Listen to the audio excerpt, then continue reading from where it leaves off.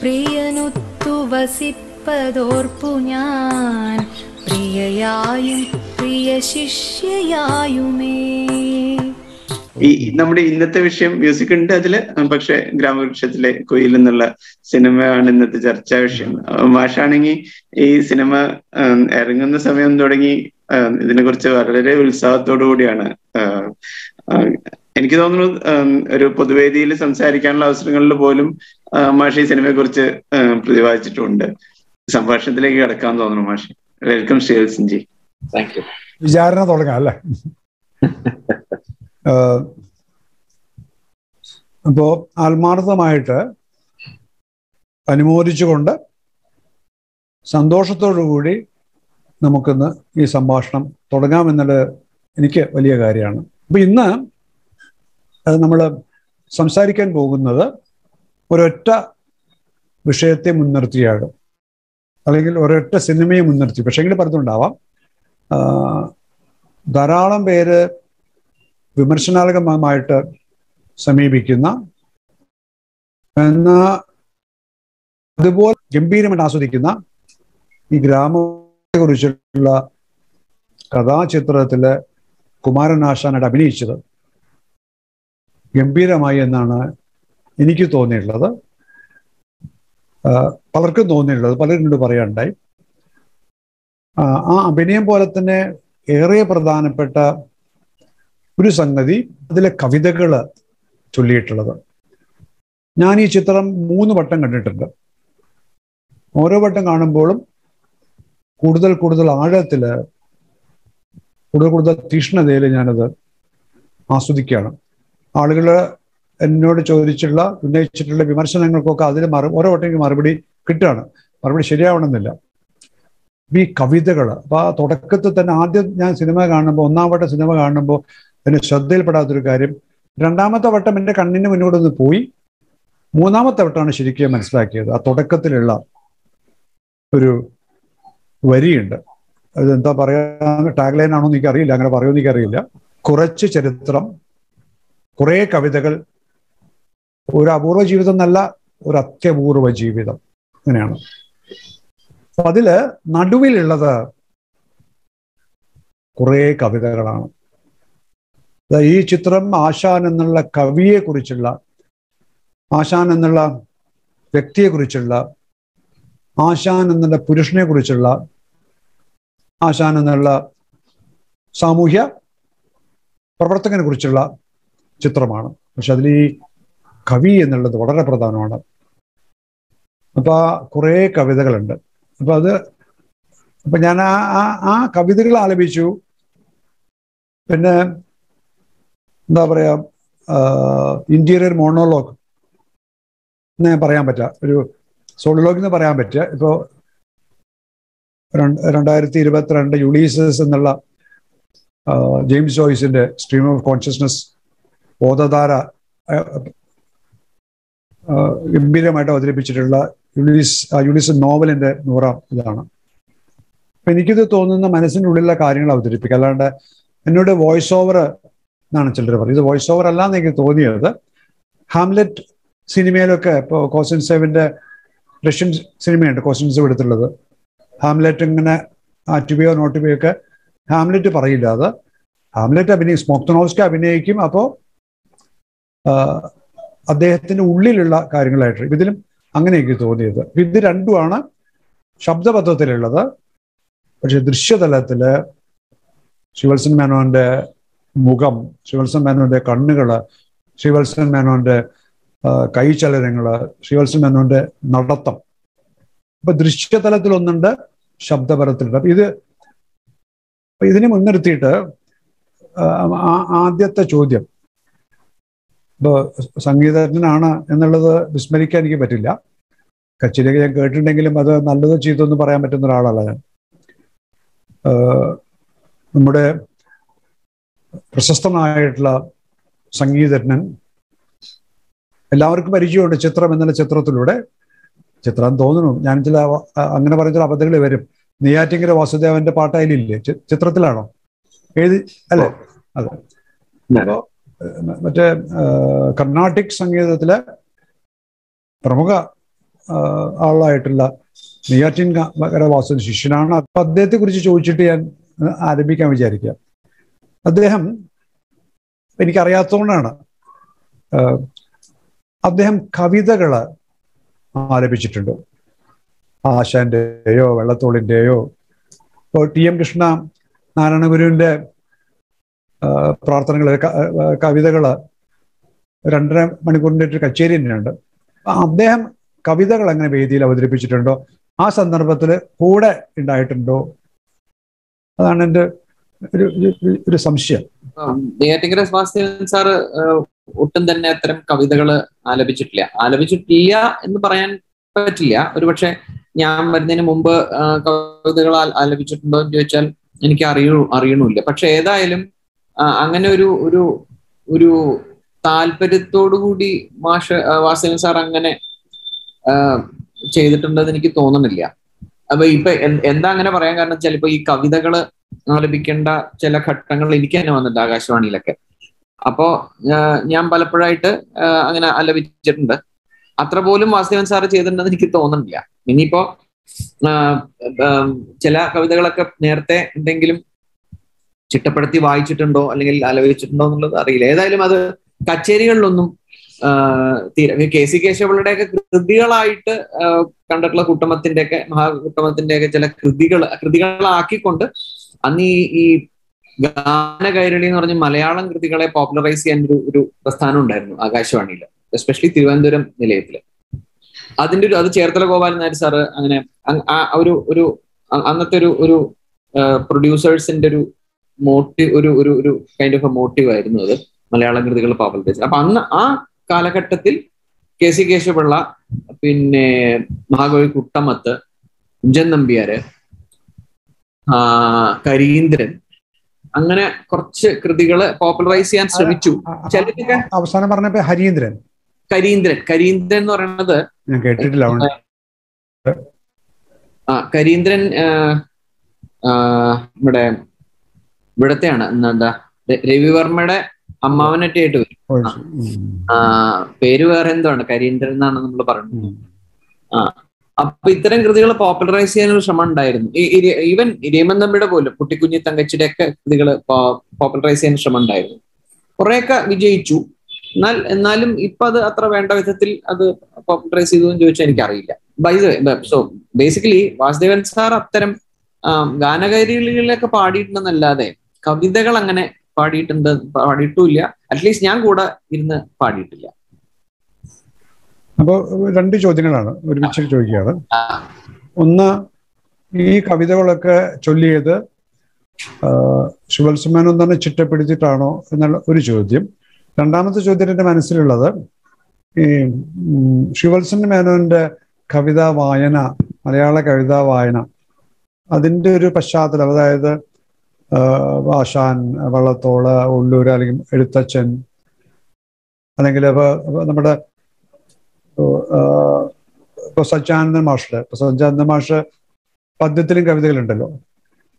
ഇപ്പൊ വൈലോപ്പിള്ളി ഇടശ്ശേരി ഇങ്ങനെയൊക്കെയുള്ള ഇപ്പൊ വായനയുടെ എന്താണ് കവിതാ വായന? കവിതയുമായുള്ള ബന്ധം കവിതയും കവിത വായിച്ച അനുഭവം കവിത കേട്ട അനുഭവം ചൊല്ലിക്കേട്ട് വീട്ടിൽ ആരെങ്കിലും ചൊല്ലി അങ്ങനെയൊക്കെ ആയിട്ടുണ്ടല്ലോ. വീട്ടിൽ ഇങ്ങനെ രാമായണം അമ്മ വായിച്ചിട്ട് അങ്ങനെയൊക്കെയുള്ള അത് അത് അതൊന്ന് കവിതയെ പറ്റി ഒന്ന് പറഞ്ഞാൽ കൊള്ളാം. കവിതയുടെ അനുഭവം. ഈ കവിത ആസ്വദിക്കാൻ എനിക്ക് അങ്ങനെ പറ്റിയിട്ടുണ്ടെന്ന് എനിക്ക് തോന്നുന്നില്ല. പക്ഷെ അതേസമയം കവിതകൾ എത്രയോ വർഷങ്ങളായിട്ട് ഇപ്പോ ഈ പറഞ്ഞ മാതിരി ഞാൻ പഠി പഠിക്കുന്ന കാലത്ത് വെള്ള തിരുവനന്തപുരത്ത് ആയിരുന്നു പഠിച്ചത്.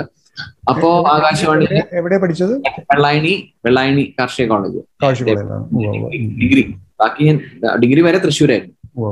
അപ്പോ ഈ അഗ്രികൾച്ചർ കോളേജിൽ പഠിക്കണ സമയം മുതൽ ഈ യുവവാണി ആകാശവാണിയിലത്തെ യുവവാണി അങ്ങനെ പിന്നെ അവിടുത്തെ കവിതകൾ ആലപിക്കേണ്ട സ്ലോട്ടുകൾ ഉണ്ട് അതിലൊക്കെ പലപ്പോഴായിട്ട് എന്നെ വിളിച്ചിട്ടുണ്ട്. അപ്പോ കവിതകൾ അന്ന് വള്ളത്തോളാണെങ്കിലും ശരി വയലുപ്പള്ളി ആണെങ്കിലും ശരി ഒ എൻ വിയുടെ ആണെങ്കിലും ശരി ഒ എൻ വിയുടെ ഒക്കെ നേരിട്ട് അദ്ദേഹത്തിന്റെ കവിതകൾ നേരിട്ട് അദ്ദേഹത്തിന്റെ മുമ്പിലിരുന്ന് വായിക്കാനൊക്കെ പറ്റിയിട്ടുണ്ട് പാടാനൊക്കെ പറ്റിയിട്ടുണ്ട്. ആ അപ്പോ രാമായണം ധാരാളം വായിച്ചിട്ടുണ്ട്.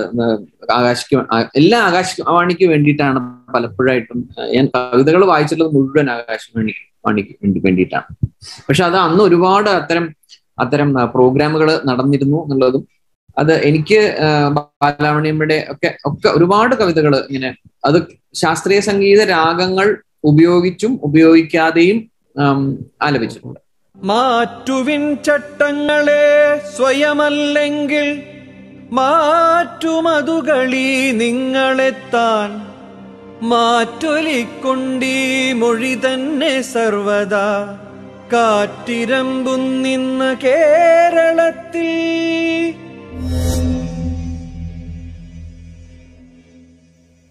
മിനിഞ്ഞാന്ന് ഞാൻ അവിടെ ചെന്നപ്പോൾ കർണാടകരയുള്ള ഒരു ബാബു എന്ന് പറഞ്ഞിട്ട് അദ്ദേഹത്തിന് പ്രായം എനിക്ക് അമ്പതുകളിലായിരിക്കും അദ്ദേഹം. ഇനി എന്ന് അറിയില്ല. അദ്ദേഹം പുത്തമ്പള്ളിയുടെ മുമ്പിൽ ധനം ജ്വല്ലറി പറഞ്ഞ ജ്വല്ലറിയിൽ രാത്രി കാവൽ നിൽക്കുന്ന ആളാണ് സെക്യൂരിറ്റി ആണ്. അപ്പൊ അദ്ദേഹം അവിടെ വന്ന് ഇരിക്കുന്നുണ്ട്. മൂന്ന് ഞാൻ വിചാരിച്ചു ഒരു അപ്പുറത്തിന് ഒരു ബ്രഹ്മാണ്ഡ സിനിമ അതിന് തിരക്കിങ്ങനെ വന്നുകൊണ്ടിരിക്കുകയാണ്. ഹൗസ്ഫുൾ ആയിക്കൊണ്ടിരിക്കുകയാണ്. അപ്പൊ ഞാൻ ചോദിച്ചു "അല്ല, ഏ- സിനിമയ്ക്കാണ് മറ്റേ തുടങ്ങിയത് മറ്റേ തുടങ്ങിയിട്ടുണ്ട് അപ്പൊ ഞാൻ "അല്ല, ഞാൻ ആശാനെ പറ്റിയുള്ള സിനിമ കാണാനാ പറഞ്ഞു അപ്പൊ ഞാൻ ചോദിച്ചു അപ്പൊ കവിതകൾ വായിച്ചിട്ടുണ്ട് പറഞ്ഞു. അതിനു വേണ്ടി വന്നുള്ളതാണ് അപ്പൊ ഞാൻ പറയുന്ന ഒരു ഒരു ഒരു ഉദാഹരണം.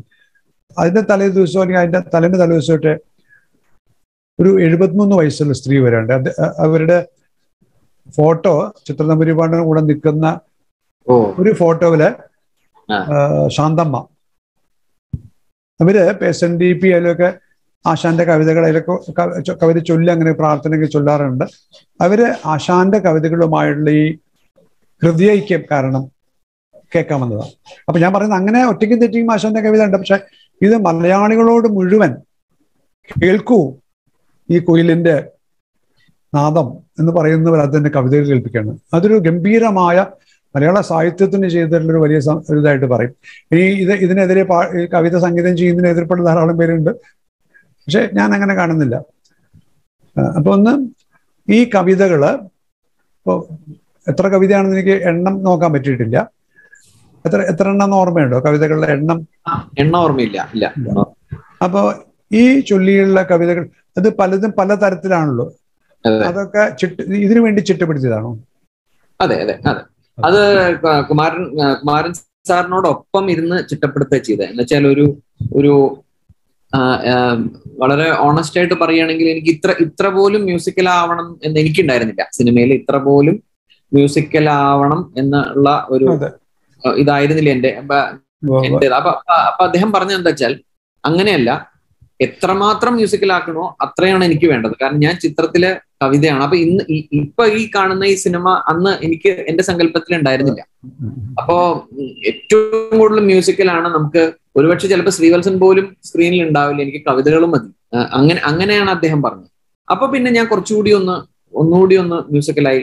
പിന്നെ ചില രാ ചില ചിട്ടകൾ ചിട്ട ഞാൻ ചിട്ട ചെയ്ത് വന്നപ്പോൾ അദ്ദേഹം പറഞ്ഞു ശരി ഇത് ഇത് ഇതല്ല. എനിക്ക് ഇന്ന ഒരു ഇന്നൊരു ഒരു ഒരു മൂഡിലുള്ള ഒരു ഒരു രീതിയാണ് വേണ്ടത്. അപ്പൊ അതനുസരിച്ച് ഞങ്ങൾ മാറ്റി ചിട്ടപ്പെടുത്തിയിട്ടുണ്ട്. ഈവൻ റെക്കോർഡിംഗ് സമയത്ത് പോലും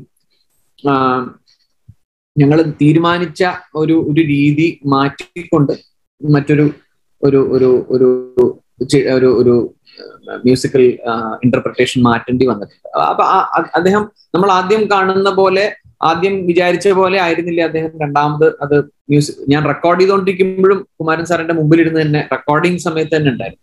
ഓരോ വാക്കുകളും ശ്രദ്ധിച്ചുകൊണ്ടൊക്കെ. അപ്പോ അപ്പൊ അപ്പോഴൊക്കെ അദ്ദേഹത്തിന്റെ മനസ്സിൽ ഒരു കൃത്യമായിട്ടുള്ള അതിൽ ഏറ്റവും എനിക്ക് വളരെയധികം എനിക്ക് സന്തോഷം തോന്നിയ ഒരു കാര്യം എന്ന് വെച്ചാൽ വളരെ കൃത്യമായിട്ടുള്ള ഒരു ഒരു ഒരു ഐഡിയ ഓഫ് സിനിമ എന്നുള്ളത് കുമാരൻ സാറിന്റെ കേസിൽ വളരെ കൃത്യമായിട്ട് അത് അറിയാം. അത്ഭുതമൊന്നുമില്ല. എന്നാലും എനിക്കത് വളരെ ഒരുപാട് പാഠങ്ങൾ നൽകിയ ഒരു കാര്യമാണ്. എനിക്കിതാണ് വേണ്ടത്. അപ്പൊ എന്ന് പറയുമ്പോൾ എന്റെ ഞാൻ ഉദ്ദേശിക്കുന്ന മ്യൂസിക് അദ്ദേഹം മ്യൂസിക് ഒന്നും പാടുന്ന ആളല്ല. പക്ഷെ കൃത്യമായിട്ട് അദ്ദേഹത്തിന് അറിയാം എന്താ വേണ്ടത് എന്ന്. അപ്പൊ ഒരു ഒരു വളരെയധികം ചർച്ചകൾ നടന്നുകൊണ്ടുള്ള ഒരു ഒരു മ്യൂസിക്കൽ ഒരു പ്രക്രിയ ഉണ്ടായിരുന്നു. പ്രോസസ് യു റൈറ്റ് ഇതിൽ ഞാൻ അങ്ങനെ ചോദിക്കുന്നില്ല. ഈ ഈ ആലപിച്ച കവിതകളിലെ ഏറ്റവും ഇഷ്ടപ്പെട്ടത് അങ്ങനെ ചോദിച്ചാൽ ശരിയല്ല. ഇപ്പൊ പെട്ടെന്ന് ഓർമ്മയിൽ വരുന്ന ഇതിൽ പടത്തിലുള്ള ചിത്രത്തിലുള്ള ഒരു ഒരു കവിത പെട്ടെന്ന് ഏതാ ഓർ- ഓർമ്മ വരുന്നത്? പെട്ടെന്ന്. എനിക്ക് മാറ്റുവിൻ ചട്ടങ്ങളെ തന്നെയാണ്. കാരണം അതിന് ഒരുപാട് എന്താ പറയാ ഒന്നാമത് നമ്മുടെ മനസ്സിൽ ഉള്ള ഒരു ഒരു എന്നും ഓൾമോസ്റ്റ് നമ്മുടെ ഡെയിലി ലൈഫിൽ നമ്മൾ ഉപയോഗിക്കുന്ന ഒരു ഒരു ഫ്രേസ് ആയതുകൊണ്ട് ഒരു അപ്പൊ അത് അത് അത് തീർച്ചയായിട്ടും ഉണ്ട്. പിന്നെ ഞങ്ങൾ ശരിക്ക് ഈ റെഡീമർ ബോട്ട് അപകടത്തിന്റെ സമയത്ത് ഉപയോഗിച്ചിരുന്ന രണ്ട് മൂന്ന് കവിതകൾ ഒരുമിച്ച് ഉപയോഗിച്ചിട്ടുണ്ട്. അപ്പൊ അത് പലപ്പോഴായിട്ടും പല സന്ദർഭങ്ങളിൽ ചിത്രത്തിൽ കവിതയിലില്ല അപ്പോ? ഉണ്ട് ഉണ്ട് ഉണ്ട്. ഏറ്റവും അവസാനം മരണസമയത്തല്ല തൊട്ട് മുമ്പ്.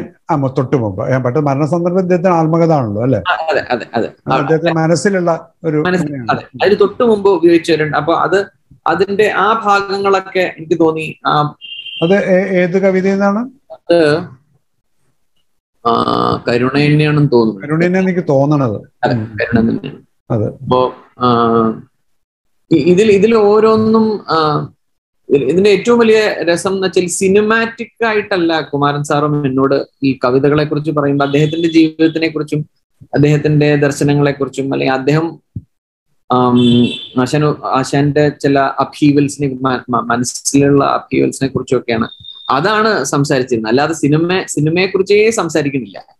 അപ്പൊ അതിനെ എനിക്ക് അതാണ് വേണ്ടത്. എനിക്ക് ആശാന്റെ മനസ്സിലുള്ള ഒരു ഒരു ഒരു suppose he had not written these words then what would be its music what would be his its music right right right അപ്പൊ അത് ഞാൻ അപ്പൊ ഞാൻ കോൺഷ്യസ്ലി അല്ലെങ്കിൽ അൺകോൺഷ്യസ്ലി അതാണ് ഞാൻ വരികളില്ലെങ്കിൽ ഞാൻ എന്താ എന്താണ് ഞാൻ അവിടെ സംഗീതം കൊടുക്കുന്നത്? അതാണ് ഞങ്ങൾ പൊതുവെ സ്വീകരിച്ച ഒരു ഒരു ഒരു ലെറ്റ്സ് എ ഒരു ഫിലോസഫി ഈ സിനിമയ്ക്ക് എങ്ങനെ മ്യൂസിക് കൊടുക്കണം എന്നുള്ളത് because on സ്ക്രീനിലെ don't worry about anything on screen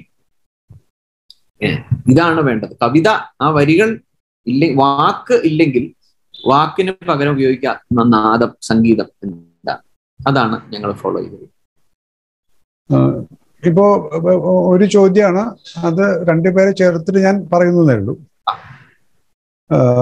ഈ ഇപ്പോ സംഗീത സംവിധായം കൂടിയാണല്ലോ ഈ ചിത്രത്തിന്റെ ഇപ്പൊ അത് അതിന്റെ കൂടി ഒരു പശ്ചാത്തലം ചോദിക്കുന്നത്. ശിഷ്യൻ എന്ന നിലയിൽ നിലയിൽ നെയ്യാറ്റിങ്കര വാസുദേവൻ അദ്ദേഹത്തിന്റെ കൂടെ ഒരുമിച്ച് പാടുകയും പാട്ട് പഠിക്കുകയൊക്കെ ചെയ്തിട്ടുള്ള ഒരാളെന്ന നിലയ്ക്ക് അദ്ദേഹം ഈ സംഗീതൻ എന്ന നിലയ്ക്ക് മനുഷ്യൻ എന്ന നിലയ്ക്ക് എന്ത് പാഠമാണ് ശിവത്സൻ മേനോൻ എന്നുള്ള ശിഷ്യനെ പഠിപ്പിച്ചത് എന്നൊരു ചോദ്യം ചോദിക്കുന്നത് അത് മറുപടി ഇല്ലെങ്കിൽ പക്ഷെ അങ്ങനെ ചോദിക്കണം എന്നൊരു ഒരു. കൗതുകം എനിക്ക് തോന്നി രണ്ടാമത് ഉപചോദ്യമായിട്ട് അഭിനേതാവ് എന്ന നിലയ്ക്ക് ഈ ചിത്രത്തിൽ പിന്നെ ഒരർത്ഥ സംഗീത സംവിധായകൻ എന്ന നിലയ്ക്ക് പിന്നെ കവിതാലാപകൻ എന്ന നിലയ്ക്ക് ഈ ചിത്രത്തിൽ ഉണ്ടായി പ്രവർത്തിച്ചു. അപ്പോ ആ, സംവിധായകനാണ് ശ്രീ കെ പി കുമാരൻ. അദ്ദേഹത്തിൽ നിന്ന് സംവിധായകൻ എന്ന നിലയ്ക്ക് മനുഷ്യൻ എന്ന നിലയ്ക്ക് അദ്ദേഹത്തിൽ നിന്ന് എന്തെങ്കിലും പാഠം പഠിക്കാൻ തീർച്ചയായിട്ടും. ഞാനിപ്പോ രണ്ട് പ്രധാനപ്പെട്ട വ്യക്തികൾ എന്നുള്ളത് തന്നെ എനിക്ക് വിശേഷിക്കാൻ വിശ്- വിശേഷിപ്പിക്കാൻ പറ്റും. പാട്ട് പാട്ട് പഠിപ്പിക്കുക എന്നുള്ളതിലുപരി ഒരു ഒരു ഒരു സംഗീതജ്ഞൻ എന്താണ്? അദ്ദേഹം. രത്ന ചുരുക്കത്തിൽ. അത് പറഞ്ഞു തരില്ല. അദ്ദേഹത്തിന്റെ അനുഭവം ഞങ്ങൾ ഞാനിങ്ങനെ കണ്ടുകൊണ്ടിരിക്കുകയാണല്ലോ അദ്ദേഹത്തിന്റെ കൂടെ യാത്രകളും എവിടെ അദ്ദേഹം പോകുമ്പോഴും ട്രെയിൻ ആണെങ്കിലും ബസ് ആണെങ്കിലും മാസങ്ങളോളം ഉള്ള യാത്രകൾ. ഈ- യാത്രകളൊക്കെ എന്നെ സംബന്ധിച്ച് ഞാൻ അന്ന് ഡിഗ്രിക്ക് പഠിക്കുന്ന സമയമാണ് അപ്പൊ ഒരുപാട് അനുഭവങ്ങളാണ് നമുക്ക്. കാരണം ഒന്നാമത് വാസുദേവൻ സാറിന്റെ ലെവലിലുള്ള ആ തരത്തിലുള്ള ആളുകളായിട്ടുള്ള നമുക്ക് നമുക്ക് കിട്ടുന്ന സന്ദർഭം നമുക്ക് എക്സ്പീരിയൻസ് ചെയ്യാൻ കിട്ടുന്ന സന്ദർഭങ്ങൾ. മ്യൂസിഷ്യൻസ് ആയിട്ട് ആയിട്ടാണെങ്കിലും ആലോചിക്കോട്ടെ. സാഹിത്യകാരന്മാരായിക്കോട്ടെ അങ്ങനെ അങ്ങനെ അങ്ങനെ പല രീതിയിലുള്ള ആളുകളായിട്ടും നമ്മൾ നമ്മുടെ ഒരു ഇടപെടൽ വരികയാണ്. നമ്മൾ നേരിട്ട് ഉണ്ടാവില്ലായിരിക്കാം പക്ഷെ നമ്മൾ അതിന്റെ പശ്ചാത്തലത്തിൽ ഇങ്ങനെ നിന്ന് വീക്ഷിക്കുകയൊക്കെ ചെയ്യുന്ന ഒരു അപ്പൊ എനിക്കും എനിക്കൊരു ഒരു ഒരു ഒരു ലൈഫ് എക്സ്പീരിയൻസും ജീവിതത്തിനെ കുറിച്ച് ഉള്ള സങ്കല്പങ്ങൾക്കൊക്കെ ഒരുപാട് മാറ്റങ്ങൾ. അതിനൊക്കെ അദ്ദേഹം എന്നോട് എഫേർട്ടും അദ്ദേഹത്തിന്റെ ഇതിന് മുമ്പുണ്ടായിരുന്ന അടുത്തിരുന്ന ആസ് എ സ്റ്റുഡന്റ് അദ്ദേഹം ചെയ്തിരുന്ന കാര്യങ്ങളും അദ്ദേഹം സ്ട്രഗിൾ ചെയ്തിരുന്ന കാര്യങ്ങളൊക്കെ നമ്മൾ അനുഭവിക്കും. സ്റ്റേജിൽ ഒരേ സമയം അദ്ദേഹം പാടുമ്പോൾ അദ്ദേഹത്തിന്റെ ക്രിയേറ്റീവ് സ്ട്രഗിൾ എന്താണെന്ന് നമ്മൾ അനുഭവിക്കുന്നു. എന്നെ കൂടി അതിനകത്ത് പാടുവാൻ ക്ഷണിക്കുകയും ഞാൻ സ്റ്റേജിൽ ഇതെല്ലാം ഇങ്ങനെ ഇങ്ങനെ ഒരു ഒരു കൈൻഡ് ഓഫ് യുനോ ബസ്സിലൂടെ ഞാൻ ഇങ്ങനെ ഭാഗ്യവശാൽ എനിക്ക് തോന്നി എനിക്ക് തോന്നുന്നു. ഞാൻ ഇപ്പൊ തിരിഞ്ഞു നോക്കുമ്പോൾ ഞാൻ അതൊരു ലേണിംഗ് എക്സ്പീരിയൻസ് ആയിട്ട് എങ്ങനെയോ ഇപ്പൊ ഞാൻ പ്രൊട്ടസ്റ്റോ അങ്ങനെയൊന്നും ചെയ്തിരുന്നില്ല. ബിക്കോസ് നമ്മളിപ്പോ കോളേജിൽ പോയിക്കൊണ്ടിരുന്നു. ചിലപ്പോൾ പെട്ടെന്ന് കച്ചേരിക്ക് വൈകുന്നേരം പോകേണ്ടി വരും. ചിലപ്പോൾ ക്ലാസ്സിൽ അറ്റൻഡൻസ് പ്രശ്നം വരും. എങ്ങനെയൊക്കെയോ അത് എന്റെ മനസ്സിൽ വലിയ മറ്റേ കൃഷിയാണല്ലോ അല്ലേ? അതെ അതെ അതെ. അവിടെ അവിടെ അറ്റൻഡൻസ് അങ്ങനത്തെ പ്രൊഫഷണൽ കോളേജാണല്ലോ അതെ അതെ അതെ. അദ്ദേഹം കച്ചേരിക്ക് അങ്ങോട്ട് പാടി തുടങ്ങും. ഉടനെ എന്റെ അടുത്ത് പാടാൻ പറയും. അപ്പൊ നമ്മൾ പാടുമ്പോൾ തെറ്റിക്കും. പക്ഷെ അങ്ങനെ basically what I'm trying to says I think even after his demise ഞാൻ ഒരു ഗുരു എന്നുള്ള സങ്കല്പം എന്റെ ഉള്ളിൽ വളരെ അതായത് എന്നെ എന്നിലെ ഗുരു എന്നുള്ളതും എന്റെ ഉള്ളിലാണ് ആ ഗുരു ഉണ്ടായിരുന്നത് എന്നുള്ളത് ഒരു പക്ഷേ അദ്ദേഹം അദ്ദേഹം എന്റെ ഒരു പെർസോണിഫൈഡ് ഗുരു ആണ്. ബട്ട് ഗുരു എന്നുള്ള സങ്കല്പം എന്റെ ഉള്ളിലേക്ക് അങ്ങോട്ട് ഉറപ്പിച്ചു വെച്ചിട്ടില്ല. അപ്പൊ എന്റെ എന്റെ ഇന്നർ സെൽഫ് എന്ന് പറയുന്നത് എന്റെ എന്റെ തന്നെ ഗുരുവായിട്ട് മാറാനുള്ള ഒരു ഒരു ഒരു ഒരു you know those seeds were sown ആ കാലം മുതൽ തന്നെ. അപ്പോ വീണ്ടും ഞാൻ എത്രയോ വർഷങ്ങൾക്ക് ശേഷം കുമാരൻ സാറിനെ ആദ്യമായിട്ട് ഞാൻ ഈ സിനിമയ്ക്ക് വേണ്ടി പരിചയപ്പെടുകയാണ്. അതിനുമ്പ് ഞങ്ങൾ കണ്ടിട്ടുണ്ടെന്ന് തോന്നുന്നു പക്ഷെ സിനിമയ്ക്ക് വേണ്ടി തന്നെ പരിചയപ്പെടും എപ്പോഴാണത്? എത്ര കാലമായി? ഈ ടൂ തൗസൻഡ് നയന്റീൻ ഞങ്ങൾ ഈ ഷൂട്ടിങ്ങിന് തൊട്ട് മുമ്പ് കലയിൽ ഇത്ര ഇത്രയും അധികം ഒരു കലാകാരനിൽ ഇത്രയധികം സ്നേഹം ഞാൻ അറിഞ്ഞത് തീർച്ചയായിട്ടും നെയ്യാറ്റിങ്കര സാറിന്റെ കൂടെയുള്ള എന്റെ യാത്രയാണ്. പിന്നെ ഞാൻ കാണുന്നത് ശരിക്കും പറഞ്ഞാൽ കുമാർ കുമാരൻ സാറിന്റെ അടുത്താണ് എന്നുവെച്ചാൽ ഭയങ്കര കഴിവുള്ള ഒരുപാട് ആളുകളായിട്ട് എനിക്ക് ഇടപെടാൻ സാധിച്ചിട്ടുണ്ട്. പക്ഷെ ഇത്രയും സ്നേഹം ഇങ്ങനെ ഇങ്ങനെ മറ്റുള്ളവർക്ക് വേണ്ടി അത് വളരെ ജെന്യുവിൻ ആയിട്ട് സ്നേഹിക്കാനും നമ്മളെ കൈപിടിച്ച് മുന്നോട്ട് കൊണ്ടുപോകാനും ഒക്കെ ഉള്ളൊരു ഒരു ഭയങ്കരതായ ഒരു ഊർജം അദ്ദേഹത്തിന്. ഈ പ്രായത്തിലും എയ്റ്റി ഫോർ ആണ് അദ്ദേഹം. ഈ പ്രായത്തിലും അദ്ദേഹം. ഈ ഈ ഒരു പ്രത്യേക സമയത്ത് ഷൂട്ടിങ്ങിന്റെ സമയത്താണ് കുമാരനാശാന്റെ കാര്യങ്ങളും നമ്മൾ അദ്ദേഹം സിനിമയുടെ സമയത്ത് പല കാര്യങ്ങളും കാരണം കുമാരനാശാനെ എന്റെ ഒരു ഭണ്ഡാരാണ് ശരിക്കും കെ പി കുമാരൻ സാർ. അപ്പോ കവിതകളായിട്ടാണെങ്കിലും അദ്ദേഹത്തിന്റെ ജീവിതമായിട്ടാണെങ്കിലും പല കാര്യ ദർശനങ്ങളൊക്കെ ഇങ്ങനെ ഇടയ്ക്കിടയ്ക്ക് സംസാരിച്ചുകൊണ്ടിരിക്കും. അപ്പൊ ഇതിൽ നിന്ന് നമുക്ക് എന്റെ ടേക്ക് അവേ ഇത് തന്നെയാണ് ഈ സ്നേഹം എന്നുള്ള അദ്ദേഹത്തിന്റെ സ്നേഹഗായകൻ അല്ലെങ്കിൽ സ്നേഹ കവി എന്നൊക്കെ വിളിക്കാലോ അദ്ദേഹത്തിന്? കുമാരനാശാനെ വിളിക്കാലോ ഈ ഈ കമ്മിങ് ടു ദ സിനിമ സിനിമയിലേക്കും ഞാൻ എത്തുമ്പോ അപ്പോഴേക്കും എനിക്കും കുമാരനാശാൻ എന്നുള്ള എന്ന മഹാകവിക്കും കുമാർ കെ പി കുമാരൻ എന്നുള്ള ആർട്ടിസ്റ്റിനും ഓട്ടിയറിനും സമാനതകളായ ഒരുപാട് കാര്യങ്ങൾ പ്രെഡിക്കമെന്റ്സ് ലൈഫിലെ predicaments in in varied forms and and in in intensity ഉണ്ടാവുകയും അതെല്ലാം ഞങ്ങൾക്ക് പരസ്പരം. കുമാരനാശാൻ ഉണ്ടെങ്കിൽ ഒരുപക്ഷെ ആശാന് കെ പി കുമാരന്റെ അവസ്ഥ മനസ്സിലാവുകയും എനിക്ക് കുമാരനാശാന്റെയും കെ പി കുമാരന്റെയും അവസ്ഥകൾ പ്രെഡിക്കമെന്റ്സ് മനസ്സിലാവുകയും അത് എന്റെ പ്രെഡിക്കമെന്റ് ആയിട്ട് റിലേറ്റ് ചെയ്യാൻ പറ്റുകയും ഒക്കെ ചെയ്യാൻ സാധിച്ചു എന്നുള്ളിടത്താണ് എന്നെ സംബന്ധിച്ചൊരു apart from the fact that I learn many many many many things from cinema and poetry I learn certain other things which were universal, the predicaments which were universal in everybody's life lives. അതൊരു ഭയങ്കരമായിട്ടുള്ളൊരു ഒരു you know എനിക്ക് കുറച്ചുകൂടി ground grounded ആയിട്ട് എന്റെ തോന്നൽ എന്റെ എന്നെ എന്റെ എന്റെ തന്നെ മൂറിങ്സിലേക്ക് തിരിച്ച് വളരെ സ്ട്രോങ് ആയിട്ട് നിർത്താനും ഇത് സ്ട്രഗിൾ എന്നുള്ളത് ഒരു ഒരു യൂണിവേഴ്സൽ ഫിനോമിൻ ആണെന്നുള്ളതും ഇതൊക്കെ നമ്മൾ വായിച്ച അറിവുണ്ട് ഞാൻ അതല്ല ഞാൻ പറഞ്ഞു വായിച്ചറിവ് കൊണ്ടുള്ള അനുഭവം വെളി വെളിപ്പെടുത്തലുകളല്ല അല്ല വെളിച്ചമല്ല.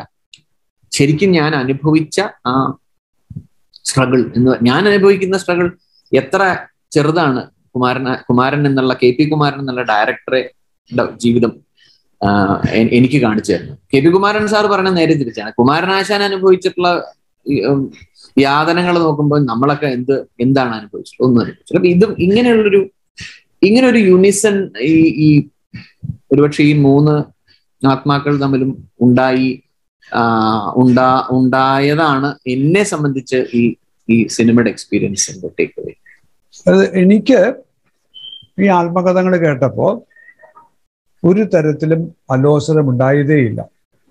കാരണം സിനിമയിൽ വ്യത്യസ്തമായ രീതിയിൽ സംഭാഷണവും അന്തർഗതങ്ങളും ഉപയോഗിക്കുന്ന ഒരേ രീതിയല്ല. സിനിമയുടെ ചരിത്രത്തിൽ അപ്പൊ ഒരുപക്ഷെ അതുമായിട്ട് കുറച്ച് പരിചിതമായതുകൊണ്ടായിരിക്കാം. പരിചിതമാണോ? ഞാൻ ഇതേപോലെ വേറെ ഉണ്ടോ എന്ന് ചോദിച്ചാൽ ഉദാഹരണം ചോദിച്ചാൽ പെട്ടെന്ന് പറയാൻ പറ്റ പറ്റണമെന്നില്ല. ഒരുപക്ഷെ ഹാംലെറ്റ് എന്ന് ഞാൻ നേരത്തെ പറഞ്ഞ Russian Hamlet Kozintsev black and white cinema എനിക്ക് ഏറ്റവും ഇഷ്ടപ്പെട്ട ഹാംലെറ്റ് ചിത്രം പണ്ടത്തെ സോവിയറ്റ് യൂണിയൻ കോസിൻസ്. അദ്ദേഹം ഷേക്സ്പിയറെ പറ്റി ഒരു പുസ്തകം എഴുതിയുള്ള ആളാണ് ടൈം ഇൻ ദ സൺ വരെ തോന്നുന്നു. അപ്പൊ അതിൽ ഞാൻ പറഞ്ഞത് സ്മോക്തനോസ്കി റഷ്യയിലെ താർക്കോസ്കിയുടെ പടത്തിലൊക്കെ അഭിനയിക്കുന്ന സ്മോക്തനോസ്കിയാണ് അതിൽ ഹാംലെറ്റ് ആയിട്ട് റഷ്യ സംഭാവന ചെയ്തിട്ടുള്ള സോവിയറ്റ് സംഭാവന ചെയ്തിട്ടുള്ള പ്രധാനപ്പെട്ട നടനാണ് ഹാംലെറ്റ് ആയിട്ട് വളരെ പ്രസാദാത്മകമായിട്ടാണ് ഇതിൽ ഹാംലെറ്റ് അവതരിപ്പിക്കപ്പെടുന്നത്. അതിന്റെ മരണം പോലും എനിക്ക് തോന്നിയത് പ്രസാദാത്മകമാണ്. കാരണം സോവിയറ്റ് യൂണിയന്റെ ഒരു സ്വാധീനം ഉണ്ടായിരിക്കാം. ഈ ട്രാജിക് അല്ലാണ്ട് അങ്ങനെ ആയിരിക്കാം അപ്പൊ ഇതിൽ ആ, ഇത് ഈ ചിത്രം ഇഷ്ടപ്പെടാത്ത ആളുകൾ പിന്നെ ചിത്രം ഇഷ്ടപ്പെട്ട ചില ആളുകളൊക്കെ അവരുടെയൊക്കെ പ്രധാനപ്പെട്ട പരാതി ഇന്നലെയും കൂടി ആ, ആ തരത്തിൽ ഞാൻ സിനിമ കണ്ടില്ലേ ചോദിച്ച് ഞാൻ ഫോൺ വിളിച്ച് കാണുമെന്ന് വിചാരിച്ചവരാണ്. ഞാൻ പറഞ്ഞതുകൊണ്ട് ഉടനെ പോയി കണ്ടു. ഇപ്പൊ പറഞ്ഞ ഡ്രാമയാണ് എന്നാണ് പറഞ്ഞത്. ഒരു പരാതി. അപ്പൊ അതായത് അച്ചടി ഭാഷയാണ് എന്നാണ് ഒരു ഒരു ആരോപണം പിന്നെ കൃത്രിമമാണെന്നാണ് കൃത്രിമമാണെന്നാ പറയും എനിക്ക് അതങ്ങനെ തോന്നിയിട്ടില്ല. എനിക്ക് അങ്ങനെ തോന്നിയൊരു സന്ദർഭമുണ്ട്. പക്ഷെ അതൊരു ഭയങ്കര വിചിത്രമുള്ള സന്ദർഭമാണ്. നാരായണഗുരു നാരായണ ഗുരു വളരെ കൃത്രിമമായിട്ട് സംസാരിക്കുന്ന സന്ദർഭം തോന്നി. അത് ഭയങ്കര എനിക്ക് വളരെ വെളിപ്പെടുത്തുന്ന രംഗമായിരുന്നു. റെവലേറ്ററി ആയിരുന്നു. ക്യാമറ കണ്ട് പതുക്കെ പിന്നോട്ട് പോകുമ്പോൾ അതിന് ടിൽറ്റ് ചെയ്യുമ്പോഴാണ് മറ്റേ ഫ്രെയിം വിശാലമാകുമ്പോഴാണ് അദ്ദേഹം സംസാരിക്കുകയല്ല. ഒരു കത്ത് പറഞ്ഞു കൊടുക്കുകയാണ്. ഈ ശിഷ്യന്റെ കല്യാണം കഴിഞ്ഞുള്ള വിവരം അറിഞ്ഞിട്ട് ശിഷ്യനൊരു ഇത് അയച്ചിരുന്നു. ഒരു നമ്മൾ അവിടെ അവിടെ അത് മറ്റേ ശിഷ്യൻ വായിക്കുന്നുണ്ട്. ഞാൻ ആ അതിനെ പറ്റിയിട്ട് അതായത് ഈ ഈ ആരോപണങ്ങൾക്ക് മറുപടി പറയണമെന്നും പറയണമെന്നില്ല. എങ്ങനെയാണ് ഈ സംഭാഷണമല്ല കവിതയല്ല ആഖ്യാനമല്ല അന്തർഗതങ്ങളാണ്. മനഃശാസ്ത്രജ്ഞനായിട്ടുള്ള ജെയിംസ് വാട്സന്റെ ഒരു വാക്യം ഞാൻ അദ്ദേഹത്തിന്റെ ബുക്ക് വായിച്ചിട്ടൊന്നല്ല വിജയൻ മാസ്റ്ററെ എം എൻ വിജയൻ അദ്ദേഹത്തിന്റെ പ്രഭാഷണത്തിൽ പറഞ്ഞൊരു വാക്യം വാക്യം പോലും ഒരു പ്രയോഗം. വളരെ നിത്യനൂതനമായിട്ട് എപ്പോഴും എന്റെ മനസ്സിലുണ്ട് വളരെ ഫ്രഷ് ആയിട്ട്. അത് ഇതാണ്. ചിന്തയെ പറ്റി പറയുകയാണ് അദ്ദേഹം പറഞ്ഞത് തോട്ട് ഈസ് സൈലന്റ് കോൺവെർസേഷൻ എന്നാണ്. ആ ഗംഭീരമായി തോന്നി. ചിന്ത എന്ന് പറയുന്നത് നിശബ്ദ ഭാഷണമാണെന്നാണ് ചിന്ത എന്ന് പറയുന്നത് മൗന ഭാഷണമാണ് എന്ന് പറയാണ്ട് അപ്പൊ എനിക്ക് ഇതിനെ കേട്ടുകൊണ്ടിരിക്കുമ്പോൾ തന്നെ എനിക്ക് യാതൊരു പ്രശ്നവും തോന്നിയില്ല. I can receive it with no opposition to it at all. Because ഇതൊക്കെ എന്റെ മനസ്സിലുണ്ടായിരിക്കാം. ഉള്ളത് കൊണ്ടായിരിക്കാം അപ്പൊ ഈ ആലാപനം അതിന്റെ കാര്യം പറഞ്ഞു. ഈ അന്തർഗതങ്ങളെ കുറിച്ച്. ഞാൻ ആത്മകഥ എന്ന് സോളിലോക്കി എന്ന് ഞാൻ പറയുന്നു. സോളിലോക്കി അല്ലാത് അന്തർഗതങ്ങൾ ബോധധാര എന്ന് വേണമെങ്കിൽ പറയാം. അത് അവതരിപ്പിച്ചതിനെ പറ്റി ഒന്ന് പറയുകയാണെങ്കിൽ സംവിധായകൻ എന്തൊക്കെയാണ്? അതുമായിട്ട് ബന്ധപ്പെട്ട് പങ്കുവച്ചിരുന്നത് സ്വന്തമായിട്ട് എങ്ങനെയാണത് എന്ന് പറഞ്ഞാൽ നന്നായിരുന്നു. ഡയലോഗുകൾ എസ്പെഷ്യലി മോണോലോഗ്സ് ഇപ്പൊ ഞാൻ തൽക്കാലം മോണോലോഗ് എന്നുള്ള വാക്ക് ഉപയോഗിക്കുകയാണ്. മോണോലോഗ് കുമാരനാശാന്റെ തന്നെ വാക്കുകളായിട്ടാണ് കുമാരൻ സാറിനോട് പറഞ്ഞത്. അതായത് അദ്ദേഹം പറയുന്ന ഉപയോഗിക്കുന്ന വാക്കുകൾ വരികൾ ആശയങ്ങൾ അതേ വാചകങ്ങൾ തന്നെയാണ് അദ്ദേഹത്തിന്റെ പുസ്തകങ്ങളിൽ നിന്നും അദ്ദേഹത്തിന്റെ വർക്ക്സിൽ നിന്നും എടുത്തിട്ടുള്ള വരികൾ തന്നെയാണ് മോണലോഗായിട്ട് ഉപയോഗിച്ചത്. അഡീഷണൽ ആയിട്ടുള്ള ഒരു ഒരു ഒരു ഒരു പുതിയ വാക്കുകളോ ഒന്നും ഒന്നും തന്നെ ഉപയോഗിച്ചിട്ടില്ല. അതായത് മോണലോഗ് പറയുന്ന സമയത്ത്. അപ്പോ ഈ ഇപ്പോ ഇപ്പോ ഷൺമുഖദാസ് മാഷ് ഇപ്പൊ പറഞ്ഞ ഈ ആശയം ഞാൻ ഞാനൊരു സംശയമായിട്ട് അദ്ദേഹത്തിനോട് ചോദിച്ചു. ഈ- ഇങ്ങനെ നമ്മൾ ഇത്തരം സംഭാഷണം അല്ലാതെ വളരെ കൃത്യമായിട്ടുള്ള മലയാളം അല്ലാതെ നമുക്ക് ലോക്കൽ ഡയലക്റ്റിൽ പറയാമോ? ലോക്കൽ സ്ലാങ്ങിൽ ഉപയോഗിക്കാമോ? എന്ന് ചോദിച്ചപ്പോൾ അദ്ദേഹം പറഞ്ഞൊരു അദ്ദേഹം ഇതിനെ ഡിഫെൻഡ് ചെയ്തുകൊണ്ട് പറഞ്ഞൊരു കാര്യം വളരെ വളരെ കൺവിൻസിങ് ആയിരുന്നു. എന്താന്ന് വെച്ചാൽ ഇതല്ല നമ്മൾ സ്ലാങ്ങിലേക്കാണ് പോണ എന്നുണ്ടെങ്കിൽ അത് എന്ത് സ്ലാങ് ആണ് നമ്മൾ ഉപയോഗിക്കുക? ഏത് അറ്റം വരെ നമുക്ക് ആ ആ സ്ലാങ് കൊണ്ടുവരാൻ സാധിക്കും. അപ്പൊ ഇതല്ലെങ്കിൽ മറ്റേ option this is the most രണ്ടും റിസ്കിയാണ് കുമാരനാശാനാണ് സംസാരിക്കുന്നത്. കുമാരനാശാൻ എങ്ങനെ സംസാരിച്ചു എന്ന് നമുക്കറിയില്ലെങ്കിലും ഏതായാലും കവിയായിട്ടുള്ള കുമാരനാശാനാണ് നമുക്കറിയാം.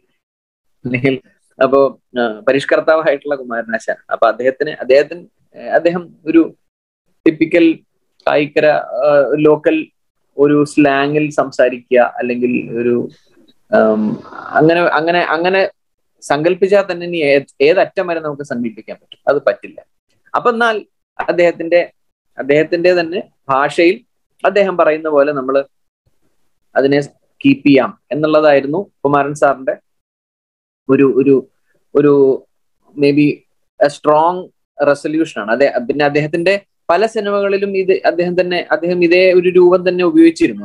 എനിക്ക് എന്റെ ഓർമ്മയിൽ ആകാശഗോപുരത്തിലും പിന്നെ രുക്മിണിയിലും ഒക്കെ ഇത്തരം ഇത്തരം സംഭാഷണങ്ങളെ ഞാൻ ശ്രദ്ധിച്ചിട്ടുണ്ട്. കുറച്ചുകൂടി ഒരു പ്രോസ് റാദർ ഒരു റിട്ടേൺ റിട്ടേൺ ലാംഗ്വേജിനെ ഫോളോ ചെയ്യാവുന്ന രീതിയിലുള്ള ഒരു സംഭാഷണ എഴുത്ത് തന്നെയായിരുന്നു കുമാരൻ സാർ പണ്ട് ഫോളോ ചെയ്തിരുന്നത്. പക്ഷെ ഇത് എനിക്ക് വളരെ കൺവിൻസിങ് ആയിട്ട് തോന്നാൻ കാരണം ആൾ നമ്മുടെ തൃശ്ശൂർക്കാർ പറഞ്ഞ ഒരു ഇത് ആൾ വേറെയാണ് എന്ന് പറയണം എന്ന് പറയണത് കൊണ്ട് it was very convincing for me പിന്നെ രണ്ടാമത്തെ കാര്യം എന്താ വെച്ചാൽ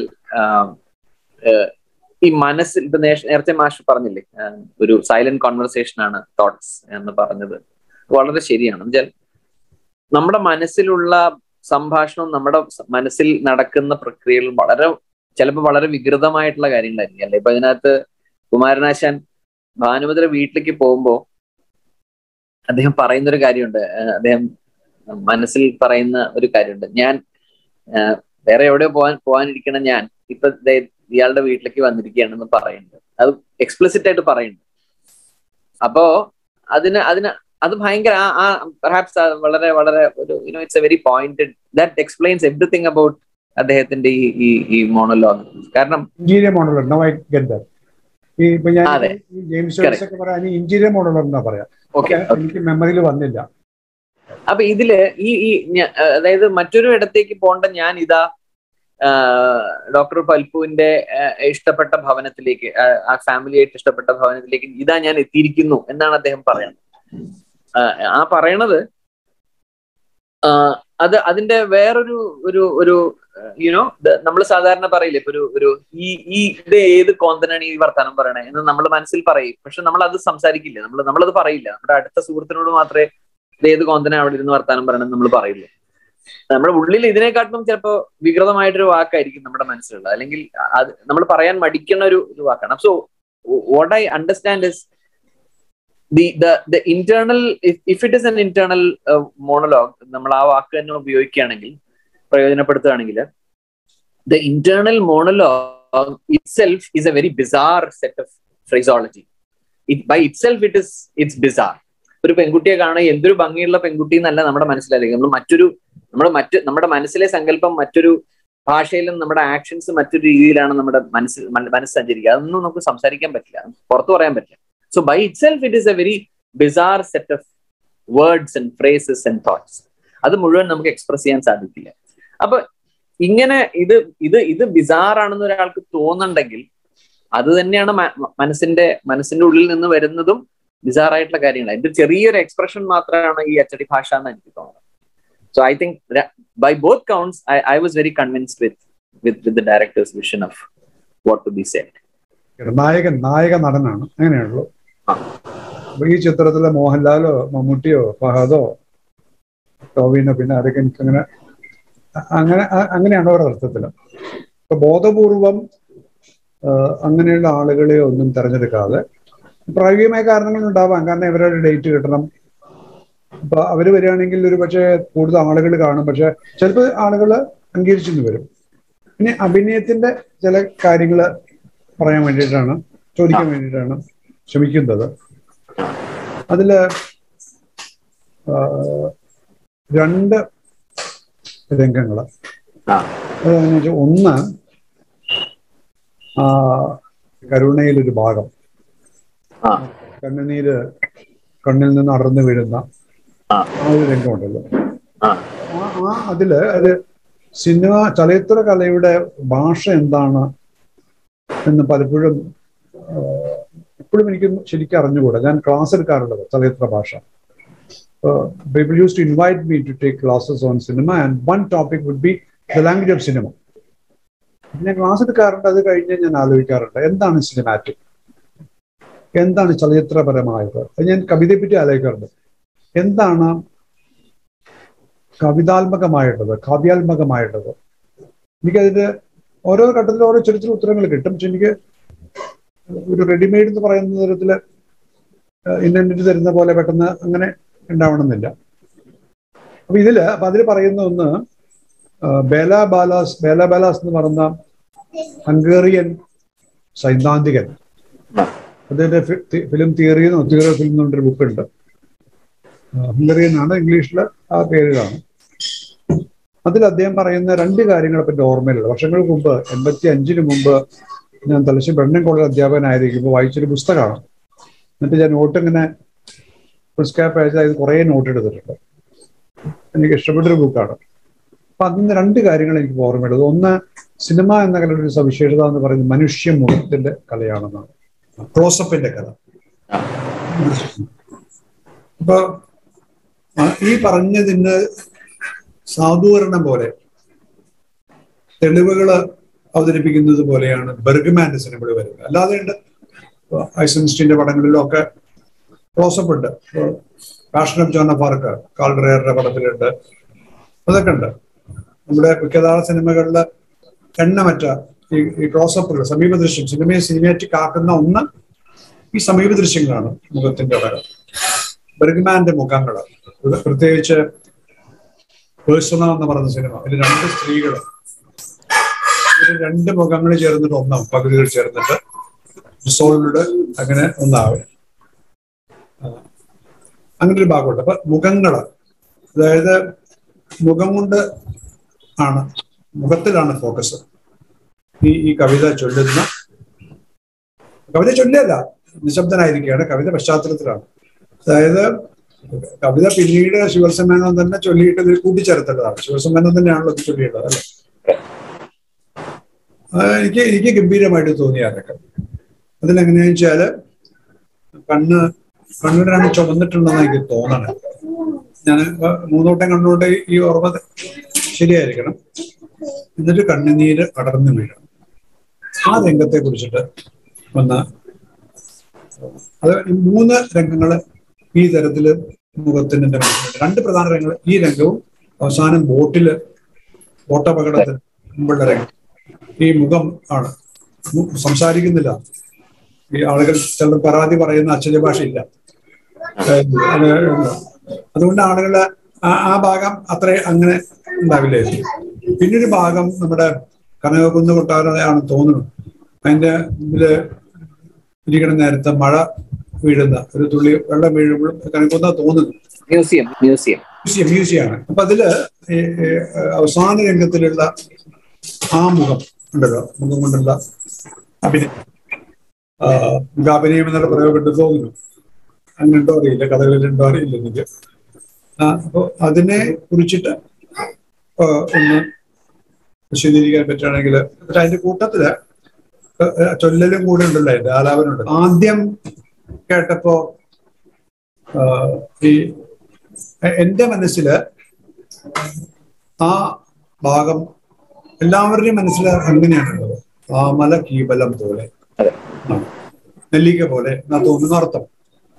എന്നിട്ട് ഞാൻ ഇപ്പൊ മാമല കീബലം പോലെ എന്നാണ് ചൊല്ലുന്നത് മുറിക്കണം. കാരണം അപ്പൊ എന്നിട്ട് ഞാൻ വന്നിട്ട് ടെക്സ്റ്റ് നോക്കി. എന്റെ സുഹൃത്തുക്കൾ അയച്ചു തന്നു.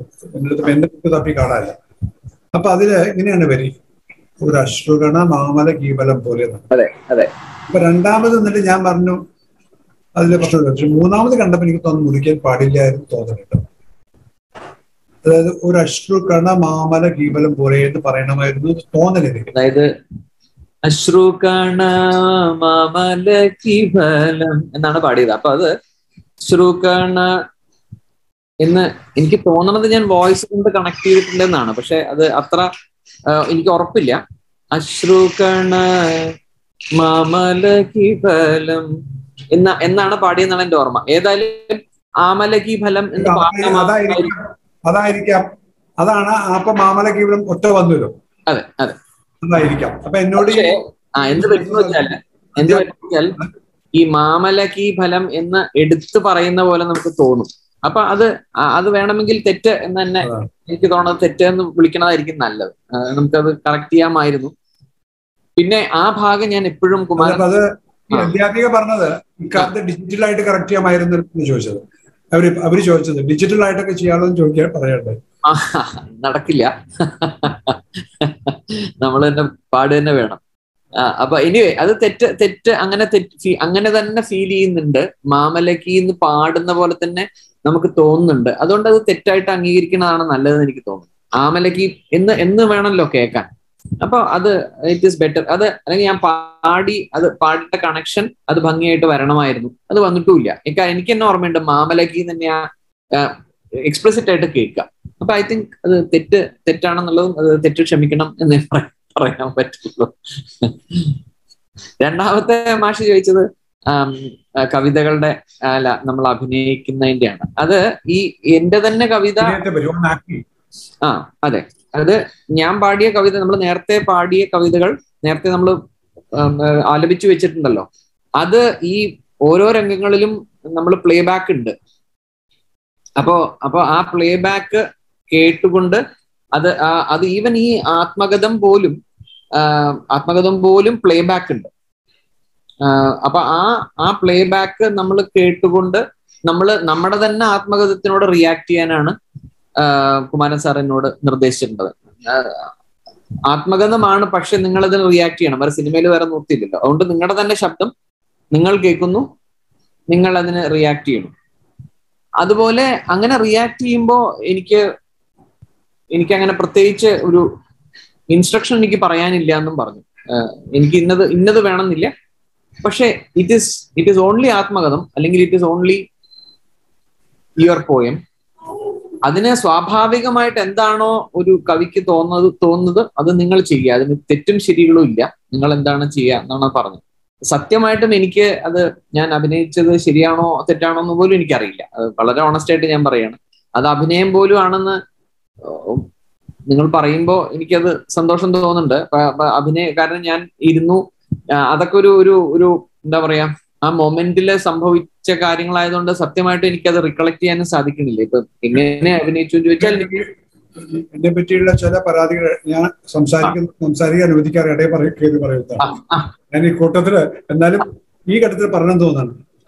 അഭിനയത്തെ പറ്റി ഗംഭീരം എന്ന് ധാരാളം പേര് പറഞ്ഞിട്ടുണ്ട്. ഇപ്പൊ എതിരായിട്ടുള്ള ആൾക്കാർ ഉണ്ടാവാം. പക്ഷെ മനസ്സിൽ ഏറെ ആളുകൾ അധിക പേര് പറഞ്ഞില്ല ഗംഭീരമുള്ള അനുഭവം അഭിനയം എന്നാണ് ആരൊക്കെയാണ് പറഞ്ഞതെന്നുള്ളത് ഞാൻ ലിസ്റ്റ് എടുക്കേണ്ടി വരുന്നു മാത്രമേ ഉള്ളൂ. ഞാൻ റെക്കോർഡ് ചെയ്തില്ല. അവർ പറഞ്ഞതാണ്. അപ്പൊ പൊതുവെ എനിക്ക് തോന്നുന്നു പൊതുവിൽ ശിവത്സൻ മേനോൻ ഈ സിനിമയിൽ ആശാൻ ആയിട്ട് അഭിനയിച്ചിട്ടുള്ളത് എനിക്ക് വളരെ നല്ല രീതിയിലാണ് ഗംഭീരമായിട്ടാണ് എന്നാണ് പൊതുവെ എന്റെ എന്നോട് ആൾക്കാർ പറഞ്ഞിട്ടുള്ളത്. മോശമായി അഭിനയിച്ചിട്ടുണ്ടെന്ന് ഒരാളും പറഞ്ഞിട്ടില്ല എന്നാണ് എന്റെ ഓർമ്മ. മോശം എന്ന് പല കാര്യങ്ങൾ പറയുന്നപ്പോ ആത്മകഥം അല്ലെങ്കിൽ. അതൊക്കെ ഉണ്ട്. അതൊന്ന് ഈ ഓണസ്റ്റ് ആയിട്ട് പറഞ്ഞു എന്താണ് ഓണസ്റ്റ് ആയിട്ട് പറയുന്നു എങ്ങനെയാണ് തെറ്റ് പറ്റും ചോദിക്കേണ്ടത് പക്ഷെ ഇങ്ങനെ പൊതുവെ ഉള്ള ഒരു ഇത് എന്നാണ് എനിക്ക് തോന്നിയത്. ഇനി ഇത് കണ്ടിട്ട് ഇത് വരുമ്പോ ഇനി ഇഷ്ടമില്ലാത്ത ആളുകൾ ചിലപ്പോൾ അതിന്റെ താഴെ കമന്റ് ചെയ്യുകയാണെങ്കിൽ തീർച്ചയായിട്ടും അത് അതെ. അത് നമുക്ക് പഠിക്കാനായിട്ട് അതെ അതെ. വിമർശനങ്ങൾ അല്ലെങ്കിൽ ക്രിറ്റിക് രീതിയിൽ സിനിമയെ ഉൾക്കൊള്ളുന്ന ആളുകൾ എഴുതിയിട്ടുള്ള വായിച്ചിട്ടുണ്ട്. അവർ പലരും ഉപയോഗിച്ചിട്ടുള്ള മിതത്വം ഉണ്ട് എന്നുള്ളതാണ്. അതൊരു പക്ഷേ ഈ പറഞ്ഞ അച്ചടി ഭാഷയുടെയും ഇപ്പോഴത്തെ ആ മിതത്വത്തിന്റെയും ഒരു ബാലൻസിങ്ങിന്റെയും കൂടി ഉണ്ടാവും. ഇത് പറയുമ്പോൾ മാഷിന്റെ ഏഹ്, ചോദ്യങ്ങളിൽ ഉണ്ടോന്ന് എനിക്കറിയില്ല. മെയിൻ ആയിട്ട് മൂന്ന് പേര് ആയിട്ട് ഇന്ററാക്ട് ചെയ്യുന്നുണ്ടല്ലോ. ഇപ്പൊ ഈ സഹോദരൻ അയ്യപ്പനായിട്ട് ചെറിയ ചെറിയ ഒരുപാട് അത് അത് എന്റെ ഇതിലില്ല. വെച്ചാൽ ഞാനിപ്പോ പറയാൻ കാര്യം വെച്ചിട്ടുണ്ടെങ്കിൽ ഈ പറഞ്ഞ അഭിനയ മിതത്വത്തിന്റെ ഒരു വേറൊരു തലം കൂടി ഉണ്ടല്ലോ ഒരു ഇന്ററാക്ഷൻ വരുമ്പോ. മറ്റത് അങ്ങനെയല്ലല്ലോ ഇപ്പൊ അപ്പൊ ഈ പ്രമോദിന്റെ മുർക്കത്ത് കുമാറിന്റെ ക്യാരക്ടറും രാഹുൽ ചെയ്തിട്ടുള്ള സഹോദരൻ അയ്യപ്പന്റെ ക്യാരക്ടറും പിന്നെ തീർച്ചയായിട്ടും ഗാർഗി അഭിനയത്തിൽ ഇത്രയും പരിചയമുള്ള ആളുകൾ എന്നുള്ള രീതിയിൽ ഐ മീൻ തിയേറ്റർ എക്സ്പീരിയൻസ് ഉള്ള ഒരാൾ എന്നുള്ള നിലയ്ക്ക്. അപ്പൊ അത്തരം ഇന്ററാക്ഷൻസിന്റെ കാര്യം കൂടി ഈ പറഞ്ഞ അഭിനയത്തിൽ വരികയാണെങ്കിൽ നല്ലതായിരിക്കും എന്ന് ആലോചിച്ചുകൊണ്ട് പറഞ്ഞ ഒരു ക്ലാസ്സിൽ പറഞ്ഞപ്പോൾ റിയാക്ഷൻ ഷോട്ടുകൾ റെസ്പോൺസ് ഷോട്ടുകൾ അത് സിനിമയിൽ പ്രധാനമാണ്. കാരണം നാടകത്തിൽ അത് മാത്രം കാണിക്കാൻ പറ്റില്ല. സിനിമയിൽ പ്രതികരണ ദൃശ്യങ്ങളുണ്ടല്ലോ പ്രതികരണം അവതരിപ്പിക്കുന്നത്.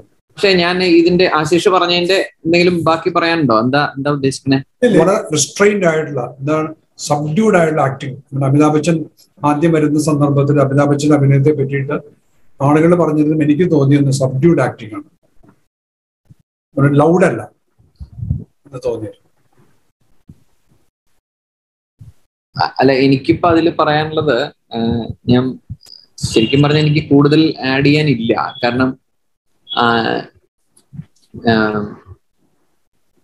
ഒരു ഒരു ആ സന്ദർഭത്തിൽ ഞാൻ എന്താ ചെയ്തതെന്നുള്ളത് ഞാൻ സ്ക്രീൻ സ്ക്രീനിൽ കാണുമ്പോഴാണ് മനസ്സിലാക്കുന്നത്. അതുകൊണ്ട് അതുകൊണ്ട് എനിക്കത് സത്യം പറഞ്ഞാൽ ഇപ്പോഴും കോഴ്സ് സബ്ഡ്യൂഡ് ആവണം എന്നുള്ളത് നമ്മുടെ ഒരു ഡയറക്ടോറിയൽ പോയിന്റ് ഓഫ് വ്യൂവിൽ അത് അദ്ദേഹം ഇങ്ങനെയാണ് ആലോചിക്കുന്നത് എന്നുള്ളത് നമ്മൾ മനസ്സിലാക്കിയ ഒരു കാര്യം. അദ്ദേഹം പറഞ്ഞിട്ടില്ല. നിങ്ങൾ സബ്ഡ്യൂഡ് ആയിട്ട് ഒരിക്കലും പറഞ്ഞിട്ടില്ല.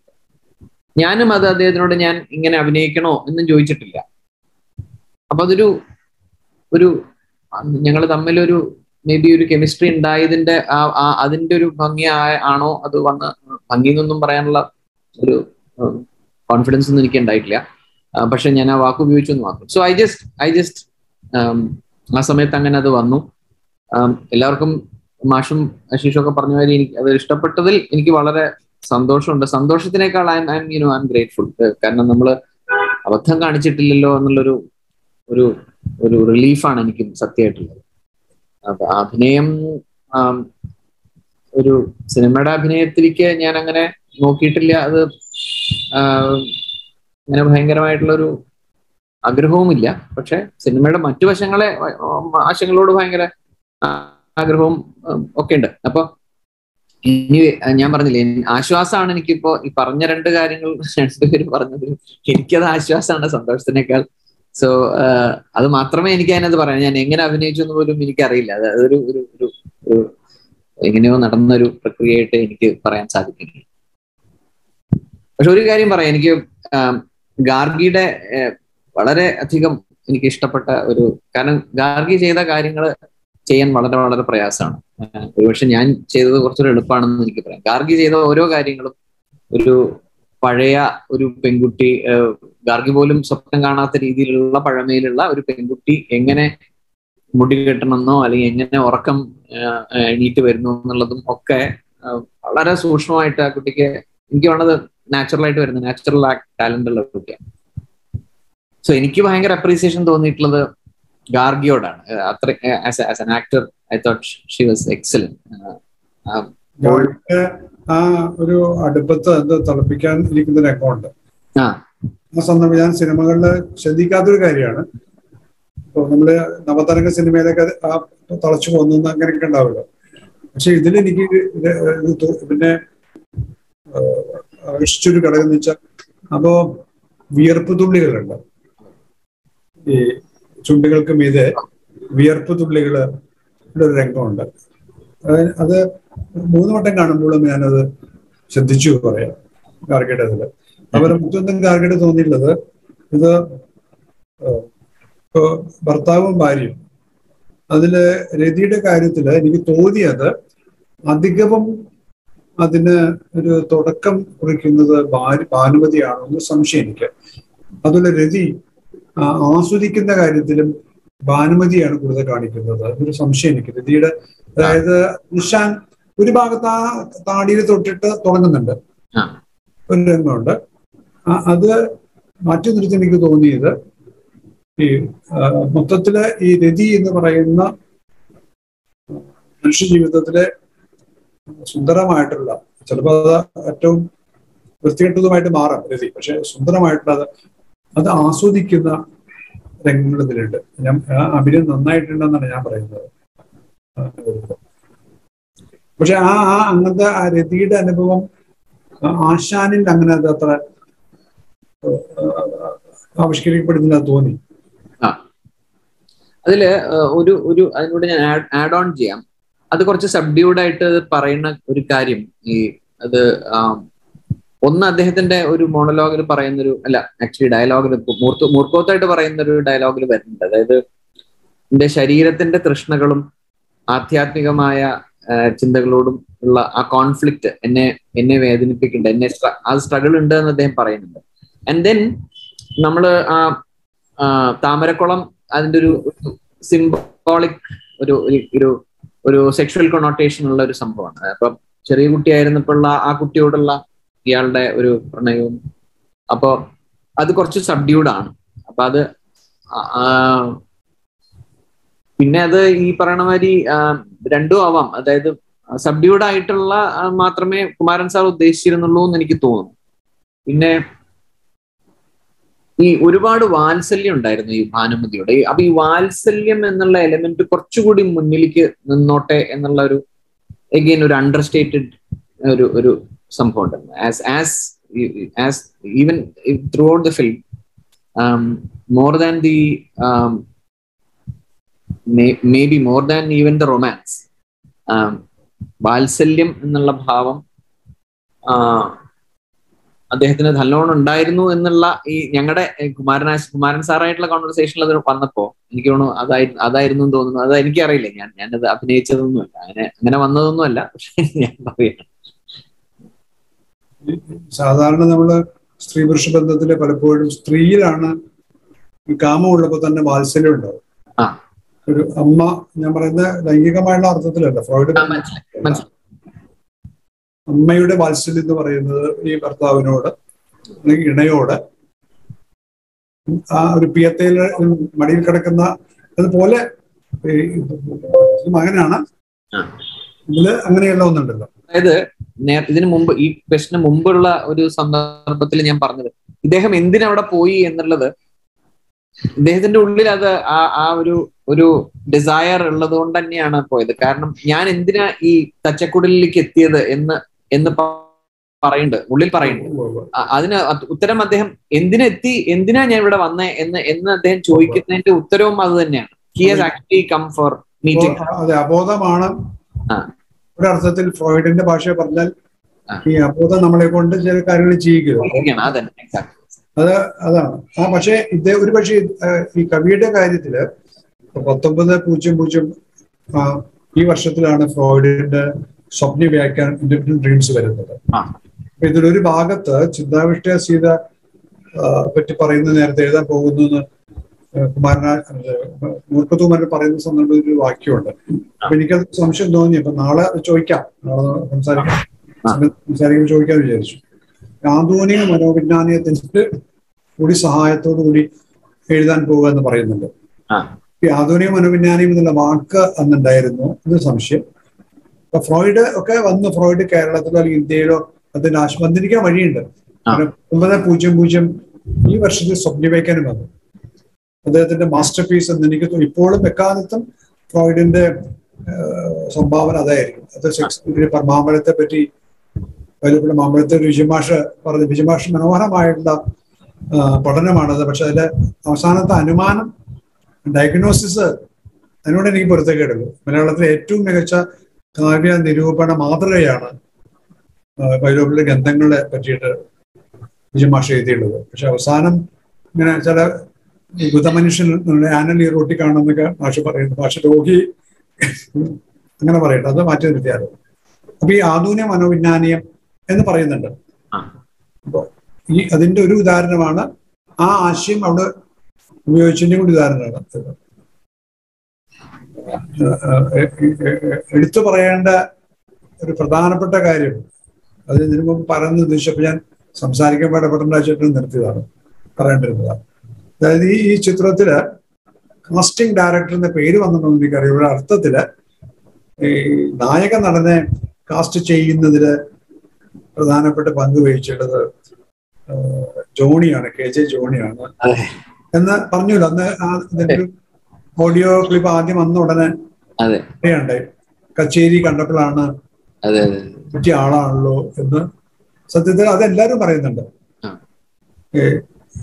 ആശാനുമായിട്ട് ഫോട്ടോ വല്ല ഫോട്ടോ കണ്ടിട്ട് അങ്ങനെ അങ്ങനെ പലരും പറഞ്ഞിട്ടുണ്ട്. അപ്പോ എസ് ജോണിയുടെ അത് ആ സന്ദർഭം എന്ന് പറയാൻ പറ്റും എങ്ങനെയാണ് ഈ അഭിനയത്തിലേക്ക് പറഞ്ഞിട്ടുണ്ട് പല അഭിമുഖം പറഞ്ഞിട്ടുണ്ട്. എന്നാലും നമ്മൾ ഈ ഇത് ഇത് അതൊന്നും കേൾക്കാത്ത നമ്മുടെ കേൾക്കുന്ന. കാണികൾക്ക് വേണ്ടി ശ്രോതാക്കൾക്ക് വേണ്ടിയിട്ടൊന്ന് സന്ദർഭം ഒന്ന് അതായത് ഞാൻ ഈ- എന്നിലേക്ക് ഇത് എത്തുമ്പോഴേക്കും ഈ ഇവരുടെ കോൺവെർസേഷൻ ഒക്കെ നടന്നു കഴിഞ്ഞിരിക്കുന്നത് ജോണി മാഷ് കുമാരൻ സാറായിട്ടുള്ള കോൺവെർസേഷൻസ് ഒക്കെ ഓൾറെഡി നടന്നു കഴിഞ്ഞിട്ടുണ്ട്. അപ്പൊ ഞാൻ എന്റെ ഒരു സാഹിത്യ എന്റെ ഒരു കച്ചേരി കച്ചേരി കഴിഞ്ഞ് ഇറങ്ങുമ്പോ ജോണി അതിന് തൊട്ടു മുമ്പ് എന്നെ വിളിച്ചിട്ട് കുമാരേട്ടൻ വന്നിട്ടുണ്ട്. കാസിനോ അല്ല പൂരം ഹോട്ടലിൽ ഉണ്ട്. പിന്നെ കുമാരനാശാന്റെ ഒരു സിനിമയായിട്ട് ബന്ധപ്പെട്ടിട്ട് ശ്രീവത്സനെ ഒന്ന് കാണാനാണ്. എന്ന് പറഞ്ഞപ്പോൾ ഞാൻ പറഞ്ഞു കച്ചേരി കഴിഞ്ഞ് ഉടനെ വരാം. എന്ന് പറഞ്ഞാൽ അങ്ങനെ കച്ചേരി കഴിഞ്ഞ് ഞാനും ജോണിയും കൂടെ സാഹിത്യ അക്കാഡമിയിൽ നിന്ന് കുമാരനെ കാണാൻ പോവാണ് മനസ്സാറിനെ കാണാൻ പോവാണ്. അപ്പോഴും ജോണി എന്നോട് പറയണില്ല ഇത് അഭിനയിക്കാനാണെന്ന് പറ- പറയണേ ഇല്ല ആ സംഭവമേ പറഞ്ഞിട്ടില്ല. അപ്പൊ ഞാൻ അപ്പോഴും ഈ കവിതയ്ക്ക് മ്യൂസിക് കൊടുക്കണം നല്ല നല്ല നല്ല പ്രോജക്റ്റ് ആണല്ലോ നല്ലൊരു കാര്യമാണല്ലോ എന്ന് പറഞ്ഞിട്ടാണ് പോണത്. അങ്ങനെ കുമാരൻ സാറിനെ കാണുന്നു കവിതകളുടെ കാര്യം പറയുന്നു അപ്പോഴും സാർ ആദ്യം ഇത് പറയണില്ല. അഭിനയിക്കാനാണ് എന്ന് പറയണില്ല. അപ്പോ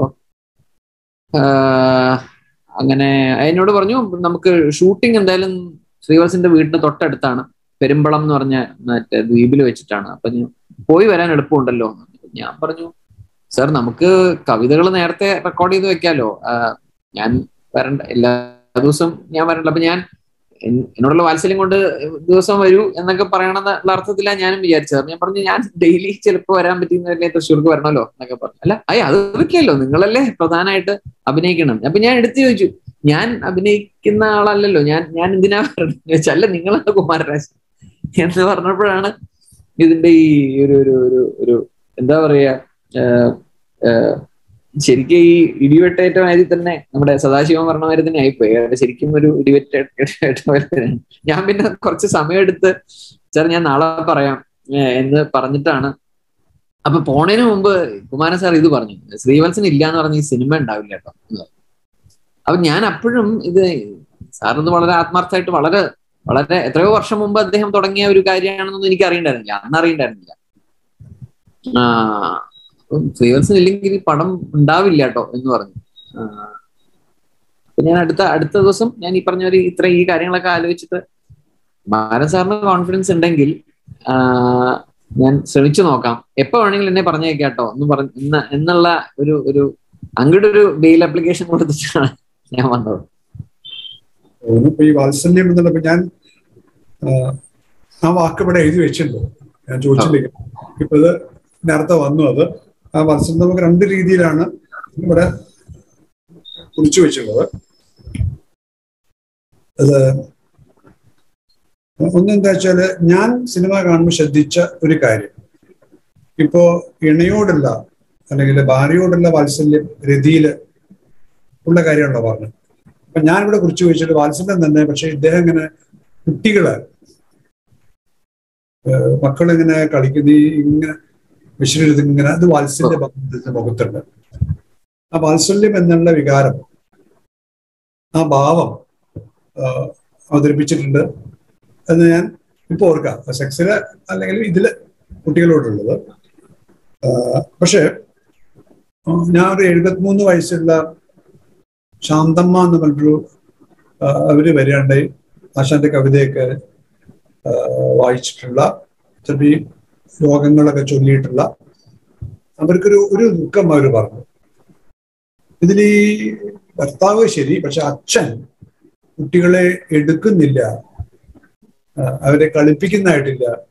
അപ്പൊ ഞാൻ പറഞ്ഞു വാത്സല്യമുണ്ട് അപ്പൊ ഇവർ കളിക്കുന്നു നോക്കി നിൽക്കുന്നുണ്ട്. ആ എന്താണ്? പിള്ളയുടെ പാട്ടുണ്ടോ പോകുന്നിത പറന്നമ്മേ ആ- ആ- പാട്ടുണ്ടോ പാട്ടുണ്ടല്ലോ. ആ പാട്ട് പിന്നെ വേറൊരു സന്ദർഭത്തിലും അവിടെ ചാരുകേസിൽ ഇരുന്നിട്ട് ഒരു ഇതിൽ ഭീഷണിയുടെ വേറൊരു സന്ദർഭത്തിലുണ്ട് ഈ കുട്ടികളെ വാത്സല്യത്തിൽ നോക്കുന്ന ഒരു ഇത് എനിക്ക് ഓർമ്മയുണ്ടത്. അപ്പൊ ഈ കുട്ടികളെ എടുത്ത് താലോലിക്കുന്നതായിട്ടുള്ള രംഗങ്ങളൊന്നും ഇല്ല എന്നിട്ട് അവരെടുക്കുന്നു അങ്ങനെ ഒരു രംഗം ഇല്ല എന്ന് ഈ ശാന്തമ്മ എന്ന് പറയുന്ന ഈ പ്രേക്ഷക ആശാന്റെ കവിത ആസ്വദിക്കുന്ന ആശാന്റെ കവിത വായിച്ചു വളർന്നിട്ടുള്ള ബഹുമാനപ്പെട്ട ശാന്തമ്മ പറഞ്ഞൊരു കാര്യം ഞാൻ പറയുന്നു അത്രേ ഉള്ളൂ. അല്ല ആക്ച്വലി ആ കുട്ടി എടുത്തോണ്ടാണ് പുതിയ വീട്ടിലേക്ക് വരണത്. കുട്ടി എടുത്തോണ്ട് തന്നെ വരണം. അങ്ങനെ ഒരു രംഗമുണ്ടല്ലേ. ഈ കുട്ടികളെ എടുത്ത് താലോലിക്കുന്ന ഒരു രംഗം അതില്ല അതില്ല അതെ ഏതായാലും അതൊരു രംഗമുണ്ട്. കുട്ടി എടുത്തുകൊണ്ട് വരുന്ന രംഗമുണ്ട് അല്ലേ? പിന്നെ ഒരു ചോദ്യമുള്ളത് എനിക്ക് കുറിയിൽ കുറിപ്പുകൾ കാണുന്നത് നോക്കുമ്പോൾ കാണുന്നത് ഈ അഭിനയം എന്ന് പറഞ്ഞാൽ രണ്ട് കാര്യങ്ങൾ കൂടിയുള്ളത്. രണ്ടല്ല അഭിനയത്തിൽ പല തലങ്ങളുണ്ട്. അതിലൊന്ന് ജസ്റ്റർ. അതായത് നമ്മുടെ നാടകത്തിന് വേദിയിൽ അഭിനയിക്കുന്ന അപ്പോൾ ജസ്റ്റർ ഉണ്ട്. സിനിമയിലാകുമ്പോൾ ഒരു ജസ്റ്റർ വേറെ ഉണ്ട്. സിനിമയിൽ നമ്മൾ കൺപോള ചലിപ്പിക്കുന്നത് നമ്മുടെ ഒരു പേശി മുഖത്തൊരു പേശി ചലിപ്പിക്കുന്നത് നാടകത്തിൽ അതൊന്നും പ്രേക്ഷകരിലെത്തില്ല പക്ഷെ സിനിമ ഈ ക്ലോസപ്പിലുണ്ട് അതൊക്കെ എത്താം. ജസ്റ്റേഴ്സ് ഈ ആംഗിക ചേഷ്ടകൾ. അതൊന്ന് പിന്നെ ഒന്ന് നടത്തം ധാരാളമുണ്ട്. ഈ ആത്മകഥങ്ങൾക്ക് പശ്ചാത്തലമായിട്ട് പശ്ചാത്തല ദൃശ്യതലത്തിൽ നടത്തമുണ്ട്. ഇപ്പോ ഇഷ്ടപ്പെടാത്ത ഒരാളാണോ അറിയില്ല പറഞ്ഞത്. മാർച്ചുകളെന്നാണ് ഇന്ന് കലയൊക്കെ പറയാനുള്ളത് അപ്പൊ ആ നടത്തത്തിൽ നടത്ത അഭിനയത്തിന്റെ ഒരു ഭാഗമാണല്ലോ. അതായത് ഇപ്പോ സ്കേറ്ററാ തോന്നുന്നു. എന്ന് പറയുന്ന ബിസ്ക്കറ്റ് എന്ന് പറയുന്ന നാടക സൈദ്ധാന്തിക. വേറെ ആരോ ഒരാൾ പറയുന്നത്. അത് അദ്ദേഹം ചെയ്യുന്ന gate G I T gate എന്ന് പറയുന്നത്. അപ്പൊ അതിന്റെ ഈ നടത്തം കുറയുന്നുണ്ട് അപ്പൊ അതിൽ അതിനെ പറ്റി എന്തെങ്കിലും മനസ്സിലുണ്ട് എങ്കിൽ അതൊന്ന് പറഞ്ഞു തന്നതായിരുന്നു. നടത്തിനെ കുറിച്ച് എനിക്ക് അങ്ങനെ അങ്ങനെ പറയാനില്ല. ഞാൻ നേരത്തെ പറഞ്ഞ കാര്യം തന്നെയാണ്. അതായത് ഈ നടക്കുമ്പോഴും പ്ലേ ബാക്ക് നടന്നുകൊണ്ടിരിക്കട്ടെ. അപ്പൊ ഞാൻ വഴി കൂടെ നടക്കുമ്പോഴാണെങ്കിലും അതായത് അമ്മച്ചി വീടുകളുടെ മുമ്പിലൂടെ ഉള്ള ആ, പിന്നെ എന്നെ ഈ മതിൽക്കെട്ടിനകത്തേക്ക് പ്രവേശനം ഇല്ല എന്ന് പറയുന്ന മതിൽ പ്രധാന നടത്തമാണത്. പ്രധാന നടത്തം. രാഷ്ട്രീയ സാമൂഹിക പ്രതിഷേധം തന്നെ വരുന്നത്. അതെ അതെ. അവിടെയും അപ്പൊ ആ നടത്തത്തിലൊക്കെ പ്ലേ ബാക്ക് ഇങ്ങനെ പോയിക്കൊണ്ടേയിരിക്കുന്നുണ്ട് ഈ നടത്ത നടന്നുകൊണ്ട്. അപ്പൊ അതിൽ അതിൽ അതിൽ അതിനകത്ത് എനിക്ക് കൂടുതലായിട്ടൊന്നും പറയാനില്ല. അത് അത് കേട്ട് അത് ആ ഇന്റേണൽ ഡയലോഗ് ഇന്റേണൽ മോണലോഗ് ആലോചിച്ചുകൊണ്ട് നടക്കണം എന്നേ എനിക്ക് നിർദ്ദേശം ഉണ്ടായിരുന്നുള്ളൂ. അപ്പോ അതനുസരിച്ചിട്ടാണ് ഞാൻ ചെയ്തതെന്ന് എനിക്ക് പറയാനുള്ളൂ ഇപ്പൊ. അതിന് ഏതായാലും ഈ സംഭാഷണം അവസാനിപ്പിക്കുമ്പോൾ വളരെ പ്രധാനപ്പെട്ട ഒരു ഭാഗം നമ്മൾ സ്പർശിച്ചതേയില്ല. അത് എനി- എനിക്കത്ര പരിജ്ഞാനം ഒട്ടും ഇല്ലാത്തൊരു ഭാഗമാണത്. സംഗീത സംവിധായകനാണ് ഈ ചിത്രത്തിന്റെ? അപ്പൊ ഞാൻ ഫോണിൽ സംസാരിച്ചപ്പോ എനിക്ക് തോന്നിയൊരു കാര്യം വളരെ കുറച്ച് ഈ ചിത്രത്തിൽ അഭിനേതാവായിട്ടുള്ള ശിവത്സൻ മേനോൻ സംഗീത സംവിധാനം സംഗീതം നിലയ്ക്ക് ഉപയോഗിച്ചുള്ളൂ എന്നാണ് എനിക്ക് തോന്നുന്നത്. അഞ്ചു വട്ടം ഉപയോഗിച്ചു എന്ന് എനിക്ക് പറയണ്ടായി അപ്പൊ ആ സംഗീത സംവിധാനത്തെ കുറിച്ചിട്ട് എന്തെങ്കിലും പറഞ്ഞാൽ കൊള്ളാം. ഈ ചിത്രത്തിന്റെ ഏറ്റവും വലിയ കരുത്തുകളിൽ ഒന്ന് ഇതിലെ ഈ സംഗീതമല്ലാത്ത ശബ്ദങ്ങളുടെ അത് ഇത് ഇത് അതാണ് ഞാൻ ഈ ഗംഭീ ഈ തിയേറ്റർ തന്നെ അത് കാണണം എന്നുള്ളത് അതിന്റെ കേൾക്കാൻ വേണ്ടിയിട്ട് കേൾക്കുന്നത്. ആ ശബ്ദപദം അദ്ദേഹം ടി ഉണ്ണി സൗണ്ട് ഡിസൈൻ ചെയ്തിട്ടുള്ള ശബ്ദപദം. അപ്പോ സൈദ്ധാന്തികമായിട്ട് തന്നെ അന്റോണിയോണി തുടങ്ങിയുള്ള ചില സംവിധായകര് സത്യത്രയം പറഞ്ഞതുകൊണ്ട് സിനിമയിലെ സംഗീതം എന്ന് പറയുന്നത് ഈ നമ്മൾ പറയുന്ന സംഗീതമല്ല അത് ഇത്തരത്തിലെ ശബ്ദങ്ങൾ നമ്മൾ ഫോളി സൗണ്ടോ നാച്ചുറൽ സൗണ്ട്സോ അതിനെ ഓർക്കസ്ട്രേറ്റ് ചെയ്യാന്നാണ് ഈ അന്റോണിയോട് പറഞ്ഞിട്ടുള്ളത്. അപ്പൊ ഈ ഈ സംഗീത സംവിധാനത്തെ പറ്റിയിട്ട് പറഞ്ഞുകൊണ്ട് നമുക്ക് ഈ ഭാഗം ഈ സംഭാഷണം തൽക്കാലം. സംഗീത സംവിധാനത്തിൽ എഗെയിൻ എനിക്ക് കുമാരൻ സാർ ഏകദേശം എന്നോട് ആകെ നിർദ്ദേശിച്ച ഒരു പോയിന്റ് എന്റെ ഓർമ്മ ശരിയാണെങ്കിൽ ഒരു തീം ബേസിക്കലി ഒരു തീമിൽ പറ്റുമോ എന്ന് ചോദിച്ചിരുന്നു. വൺ വൺ ഒരു ഒരു പ്രധാനപ്പെട്ട ഒരു തീം അത് ആ തീം വരുന്നത് ഈ ഈ കുട്ടി നടന്ന് പോയി ശ്രീനാരായണ ഗുരുവിന്റെ അടുത്തേക്ക് എത്തുന്ന ഭാഗമാണ്. അപ്പൊ ആ ഭാഗം ഒരു നല്ലൊരു തീം ആയിക്കോട്ടെ എന്നുള്ള ഒരു സൂചന പറഞ്ഞു. പിന്നീട് അത് അപ്പൊ ഞാൻ ആ ആ സീനിൽ വെള്ളം ഈ പറഞ്ഞ ഒരു വെള്ളത്തിന്റെ ശബ്ദം ഉണ്ട്. അപ്പോ എഗീൻ അത്രയും മ്യൂസിക്കിൽ വേണോ എന്ന് ഞാൻ സാറിനോട് ചോദിച്ചു. അപ്പൊ എന്റെ എന്റെ എന്റെ ഫീൽഡ് മ്യൂസിക് ആണെങ്കിൽ എനിക്ക് മ്യൂസിക് കുറച്ച് ഉപയോഗിക്കാനാണ് എനിക്ക് കൂടുതൽ താല്പര്യം. എസ്പെഷ്യലി ഇത്തരം സിനിമകളിൽ. കമേഴ്സ്യൽ ഫോർമാറ്റിൽ വേറെയാണ്. പക്ഷെ അപ്പൊ ഇത്ര പോരെ എന്ന് ചോദിച്ചപ്പോ സാർ പറഞ്ഞു അതല്ല എനിക്ക് ആ ജേണി അതായത് ഒരു കുട്ടിയായിട്ടുള്ള ജേണി വെറും വെറും യാത്രയല്ല. അത് ഒരു ഒരു വിസ്ഡം ഒരു ഒരു ഒരു വിസ്ഡം കിട്ടിയ ഒരു കുട്ടിയുടെ യാത്രയാണ്. ആ വിസ്ഡത്തിന്റെ ഒരു എക്സ്റ്റൻഷൻ എന്നുള്ള അതാണ് മൂഡ് അതാണ് നിങ്ങളുടെ നിങ്ങളുടെ ബ്രീഫ് ഇതാണ്. അതായത് വെറുതെ നടന്നു പോയി കാട്ടിക്കൂടെ നടന്ന് ഒരു സ്ഥലത്ത് എത്തുകയല്ല. ഓൾറെഡി ചെറിയ തുണി കെട്ടിട്ട് പോകുന്ന ഭാഗമല്ലേ? അതെ അതെ അതെ. പോകുന്നത്. അതെ. അതാ. അപ്പൊ ആ എന്റെ എന്റെ കയ്യിലുള്ള വിദ്യകളൊക്കെ കഴിഞ്ഞു. ഇനി നീ മറ്റൊരു സ്ഥലത്തേക്ക് പോകുന്നു പറയുന്ന ഗുരുനാഥനിൽ നിന്ന് തുടങ്ങുന്ന so the growth of the of the poet ഒരു ഗ്രാഫ് വരച്ചാൽ അതാണ് വേണ്ടത്. മ്യൂസിക് എനിക്ക് അതാണ് അവിടെ വേണ്ടത് എന്ന് പറഞ്ഞു. അപ്പൊ അത് അവിടെയാണ് അദ്ദേഹം പറഞ്ഞ കാര്യങ്ങൾ. പിന്നെ അപ്പൊ ഞാൻ മിനിമലായിട്ടേ മ്യൂസിക് ഉപയോഗിച്ചിട്ടുള്ളൂ. പല സ്ഥലങ്ങളിലും ഞങ്ങൾ അങ്ങനെ തന്നെ ശ്രമിച്ചിട്ടുള്ളൂ. പിന്നെ ചില കവിതകളിൽ ഗരസ്- ഗരിസോപ്പ വെള്ളി. ഗരിസോപ്പ. വെള്ളച്ചാട്ടത്തിന്റെ അവിടെ ഒരു പ്രധാനപ്പെട്ട ഒരു പോയിന്റ് ഞങ്ങൾ ശ്രമിച്ചത് എന്താന്ന് വെച്ചാൽ ഈ ആശാനെ താളം അറിയാത്ത ആൾ എന്നുള്ളൊരു അധിക്ഷേപം ഉണ്ടായിരുന്നു മ്യൂസിക്കൽ അല്ല വാക്കുകൾ എന്നുള്ള അത് നമ്മൾ കോൺവെർസേഷനിൽ തന്നെ വരുന്നുണ്ട്. അപ്പോ കാളിദാസൻ കാളിദാസൻ ഉപയോഗിച്ച ഒരു ശൈലിയുണ്ട്. അതായത് തദ്ദീം തദീം തദ്ദീം തദീം തദ്ദീം തദീം ത തദ്ദീം തദീം ത തദ്ദീം തദീം ത തദ്ദീം തദീം ത. ഇങ്ങനെ ഒരു താളം. താളം വെച്ചാൽ അത് എനിക്ക് തന്നെ അറിയില്ല എന്ത് താളാന്ന്. പക്ഷെ കാളിദാസന്റെ എനിക്ക് തോന്നുന്നത് കുമാരസംഭവത്തിലല്ല സോറി കാളിദാസന്റെ ഋതുസംഹാരത്തിൽ ഋതുസംഹാരത്തിൽ ഉപയോഗിച്ചിട്ടുള്ള ഒരു ഒരു മീറ്റർ ഉണ്ട്.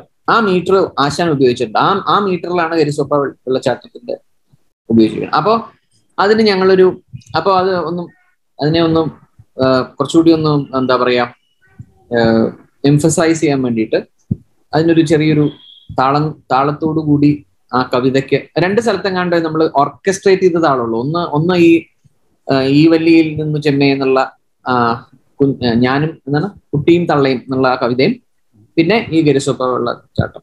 ആ, മിന്നാമിനുങ്ങിൽ കുറച്ചുണ്ട് പക്ഷെ ഇതിലാണ് അപ്പൊ അവിടെ ആ താളം ഉപയോഗിക്കുന്നത്? ആ മിന്നാമിനുങ്ങിനെ തന്നെ കാണിച്ചുകൊണ്ടുള്ള ഒരു ഒരു ഭാഗം ഉണ്ടല്ലോ രാത്രി ഇരുന്നിട്ട്. അപ്പോ അപ്പൊ അതിൽ ഈ താളം ഉണ്ട് എന്ന് ഇതൊന്നും ആളുകൾക്ക് പറഞ്ഞു കൊടുക്കണ്ട. പക്ഷെ ആളുണ്ട് എന്നുള്ളത് അന്നത്തെ ക്രിട്ടിക്സ് ആയിരിക്കും. പക്ഷെ നമ്മൾ ഇന്നെങ്കിലും ഒരു മറുപടി കൊടുക്കണം എന്നുള്ളത് അതിനാണ് അങ്ങനെ ഒരു താളം. അപ്പൊ അങ്ങനെ ഞാൻ പറഞ്ഞ മാതിരി കുമാരൻ സാറിന് വളരെ കൃത്യമായിട്ടുള്ള ഒരു ഐഡിയ ഉണ്ടായിരുന്നു. അപ്പൊ അത് അതിലേക്ക് അതിലേക്ക് ഞാനൊന്ന് എന്താ പറയാ see I learn a lot അത്തരം കാര്യങ്ങളിൽ അദ്ദേഹത്തിന്റെ ഒരു ശിക്ഷണത്തിൽ ഒരുപാട് കാര്യങ്ങൾ. അത് എന്തുകൊണ്ടാന്ന് കൂടി ഞാൻ പറഞ്ഞ് ഇത് അവസാനിപ്പിക്കാം. കാരണം മ്യൂസിക് ഡയറക്ഷൻ മ്യൂസിക്കിന്റെ കാര്യത്തിൽ എനിക്ക് ഇത്രേ പറയാനുള്ളൂ. മിനിമലിസ്റ്റ് തന്നെയായിരുന്നു. And strictly from the director's point of view അത് തന്നെയാണ് ചെയ്തത്. എനിക്ക് ഞാൻ ഒരു ഒരു സിനിമ സംവിധാനം ചെയ്യാൻ ഇരിക്കുന്ന ഒരാളാണ്. അപ്പൊ എനിക്ക് ഒരുപാട് അത്തരം ക്യാമറയുടെ അപ്പുറത്തും ഇപ്പുറത്തുമായിട്ട് തന്നെ ഒരുപാട് ഒരു ഒരു സ്കൂളിംഗ് നടന്നു എന്നുള്ളത് ഷാജി സാറിന്റെ കൂടെ വർക്ക് ചെയ്യുന്ന പോലെ തന്നെ എനിക്ക് കുമാരൻ സാറിന്റെ കൂടെ മറ്റൊരു എന്റയർലി ഡിഫറെന്റ് എസ്തറ്റിക്സും എന്റയർലി ഡിഫറെന്റ് ഷാജി അദ്ദേഹത്തിന്റെ ഏത് ചിത്രമാണ്? രണ്ട് രണ്ട് പടം സ്വബാനും സ്വബാനും ഈ ഓളും മ്യൂസിക് ഞാനാ ചെയ്തത് ആ. അപ്പോ അപ്പോ ഒരു ഒരു ഒരു എന്താ പറയാ നമുക്ക് നമുക്ക് ഓരോ മാസ്റ്റേഴ്സിന്റെ നിന്നും ഓരോ രീതിയിലുള്ള ഇൻപുട്സ് കിട്ടുന്നു പക്ഷെ ഒരു സംവിധായകന്റെ പെർസ്പെക്റ്റീവ് അറിയാൻ എപ്പോഴും എനിക്ക് ഭയങ്കര താല്പര്യമുണ്ട്. ജയരാജിന്റെ ഒറ്റാൽ ചെയ്യുമ്പോൾ ജയരാജന്റെ പെർസ്പെക്റ്റീവ് എനിക്ക് ഭയങ്കര ഭയങ്കര എന്താ പറയാ ഒരുപാട് ഫ്രീഡം തരുന്ന ഒരു ഒരു ഡയറക്ടറാണ് വെച്ചാൽ more from the music director and less from the director അത് നല്ല നല്ലതായിട്ടാണ് ആ ആ സിനിമയ്ക്ക് എനിക്ക് തോന്നിയത്. ഇവിടെ അങ്ങനെയല്ല. ഇവിടെ more from the director less from the music director അതാ ആ ആ ഒരു ഒരു കാര്യമാണ് എനിക്ക് ഇതിനകത്ത് സൂട്ടബിൾ ആയിട്ട് തോന്നുന്നത്. കാരണം അറിവ് കൂടുതൽ ഈ കാര്യ സബ്ജക്റ്റിനെ കുറിച്ച് കൂടുതൽ അറിവും അനുഭവവും ഉള്ളത് ഡയറക്ടർക്കാണ് സംവിധാ സംഗീത സംവിധായകനല്ല. ആകെ ഇതിനകത്ത് അഡ്വാന്റേജ് കിട്ടിയത് ഞാനത് അഭിനയിച്ചു എന്നുള്ളത് കൊണ്ട് കുറച്ചുകൂടി ഇൻഫർമേഷൻ എനിക്ക് കിട്ടി എന്നേ ഉള്ളൂ. അപ്പോ ഒരു സ്ട്രിക്ട്ലി ഒരു ഡയറക്ടേഴ്സ് പെർസ്പെക്റ്റീവിൽ എനിക്ക് ഒരുപാട് ഒരു നല്ലൊരു സ്കൂളിംഗ് കൂടെ ഇതിന്റെ അതായത് ഇതിനോടനുബന്ധിച്ച് കിട്ടി. ഇനി ഞാനൊരു സിനിമ സംവിധാനം ചെയ്യുമ്പോൾ പല പല പെർസ്പെക്റ്റീവ്സ് എനിക്ക് കിട്ടുന്ന പാഠങ്ങൾ വളരെ വളരെ അത് കുമാരൻ സാറിന്റെ ഈ- ഒരു ഒരു സ്കൂൾ തന്നെ പറയാം. അതെനിക്ക് ഒരുപാട് ഗുണങ്ങൾ ചെയ്തു എന്ന് തന്നെ വേണമെങ്കിൽ എനിക്ക് പറയാം. എന്റെ ഭാഗത്ത് ഞാനത് അവസാനിപ്പിക്കുമ്പോൾ അതിഥി എന്നുള്ള സിനിമയിൽ ഒരു പാട്ട് എനിക്ക് വളരെ എന്റെ മനസ്സിൽ എപ്പോഴും ഉള്ള ഒരു പാട്ട് ഷീലയാണ് ഉള്ളത്. സീമന്തിനി എന്ന് പറഞ്ഞ പാട്ട്. അത് റേഡിയോയിൽ എപ്പോഴും വരുന്ന പാട്ടുകളിൽ പക്ഷെ കെ പി കുമാരന്റെ സിനിമയിൽ നിന്ന് വരുന്ന ഒരു പാട്ട് അതാണ്. അത് പെട്ടെന്ന് ഓർത്തു. എന്ന് ഏതായാലും അശീഷ് അശീഷ് ഈ സിനിമ കണ്ട ആളാണ്. അശീഷ് നമ്മൾ രണ്ടുപേരും മാത്രമല്ല അശീഷ് കൂടി സംസാരിച്ചിട്ടുള്ളതാണ്. അശീഷ് ഇതൊന്ന് സംഹരിച്ചാൽ ഇത് ഭംഗിയാക്കിയാൽ നന്നായിരുന്നു. ഇപ്പൊ തന്നെ കുറച്ച് നീണ്ടുപോയതുകൊണ്ട് ആക്ച്വലി ഒരു ഒരു പൊതുവേ വന്നിട്ടുള്ള അതൊരു ഒരുപക്ഷെ സംവിധായകനോട് ചോദിക്കേണ്ട ഒരു കാര്യമാണ്. കാരണം കവി എന്നുള്ള നിലയ്ക്ക് അല്ലെങ്കിൽ ഒരു വ്യക്തി എന്നുള്ള നിലയ്ക്ക് ചുരുങ്ങിപ്പോയോ അതായത് ഒരു ഒരു ബയോപിക് എന്നുള്ള നിലയ്ക്ക് എല്ലാം ഇൻക്ലൂഡ് ചെയ്തിട്ടില്ല എന്നുള്ള പരാമർശങ്ങളൊക്കെ അവിടെ നിന്നൊക്കെ കേട്ടിട്ടുണ്ടായിരുന്നു. അതിനെക്കുറിച്ച് എന്തെങ്കിലുമൊക്കെ തുടക്കത്തിൽ സംസാരിച്ചിട്ടുണ്ടായിരുന്നോ എന്ന് ഒരു ഒറ്റ വരിയിൽ എന്തെങ്കിലും പറയുകയാണെങ്കിൽ നല്ലതായിരിക്കും അതുപോലെ ഇപ്പോ സിനിമ സംവിധാനം ചെയ്യാൻ താല്പര്യമുണ്ട് സാധ്യതയുണ്ട് എന്ന് പറഞ്ഞുകൊണ്ട് അതിനെക്കുറിച്ച് കൂടി പറയുകയാണെങ്കിൽ നല്ലതായിരിക്കും കാരണം കേൾക്കാൻ കൂടുതൽ ആളുകൾക്കും താല്പര്യമുണ്ട്. എന്തായാലും തീർച്ചയായിട്ടും ഒരു മ്യൂസിക്കലാവാൻ സാധ്യതയുണ്ടെന്ന് ഊഹിക്കാം. അപ്പൊ അതും കൂടി പറഞ്ഞ് നമുക്ക് കൺക്ലൂഡ് ചെയ്യാൻ തോന്നുന്നു സംവിധാനം ഈ ഈ പടം ഇങ്ങനെ തന്നെ സംവിധാനം ചെയ്യാൻ ഉദ്ദേശിച്ചിട്ടുള്ളൂ. ഇതേ ശൈലിയിൽ തന്നെ ആദ്യം മുതലേ ഇത്ര തന്നെയുള്ളൂ ആറ് വർഷത്തെ ആറ് വർഷം അവസാനത്തെ ആറ് വർഷം എന്റെ കുമാരനാശാനെ ഞാൻ കാണുന്നത് ഇതാണ്. അല്ലാതെ ഒരുപാട് കാര്യങ്ങൾ വെച്ചുകൊണ്ടുള്ള അദ്ദേഹം ആദ്യം തന്നെ വളരെ എന്റെ ഈ സിനിമയിൽ കവിതകൾ കേൾക്കാൻ വരുന്ന ആളുകൾ മതി. കേൾക്കാൻ മാത്രമേ this is a this is a cinema where the audio element is dominating എന്റെ മറ്റു സിനിമകളെ പോലെയല്ല. അപ്പൊ അത് അദ്ദേഹം അദ്ദേഹം അങ്ങനെ പറയുന്നത് അത് മാസ്റ്റർ ഫിലിം മേക്കർ അങ്ങനെ തീരുമാനിക്കുമ്പോൾ നമുക്ക് അതിന്റെ അതിന്റെ ബോൾഡ്നെസ്സിനെ അപ്രീഷിയേറ്റ് ചെയ്യണം എനിക്ക് അന്ന് അന്ന് മുതലേ തോന്നിയത്. കാരണം നമ്മൾ ഓ ഇവിടെ സിനിമാറ്റിക് അല്ല ഇവിടെ ലെസ് സിനിമാറ്റ് ഇവിടെ മറ്റേ ആംഗിൾ അതൊന്നും അല്ലല്ലോ. അദ്ദേഹം വളരെ ക്ലിയർ ആണ് എനിക്കിത് മതി. അപ്പോ അതിന് അതിലുപരി എനിക്ക് വേണം അദ്ദേഹത്തിനെ ഗൈഡ് ചെയ്തൊരു കാര്യം കുമാരനാശാന് ഹിസ്റ്ററിയിലെ സിനിമ ഹിസ്റ്ററിയിൽ ഉൾക്കൊള്ളിക്കണം.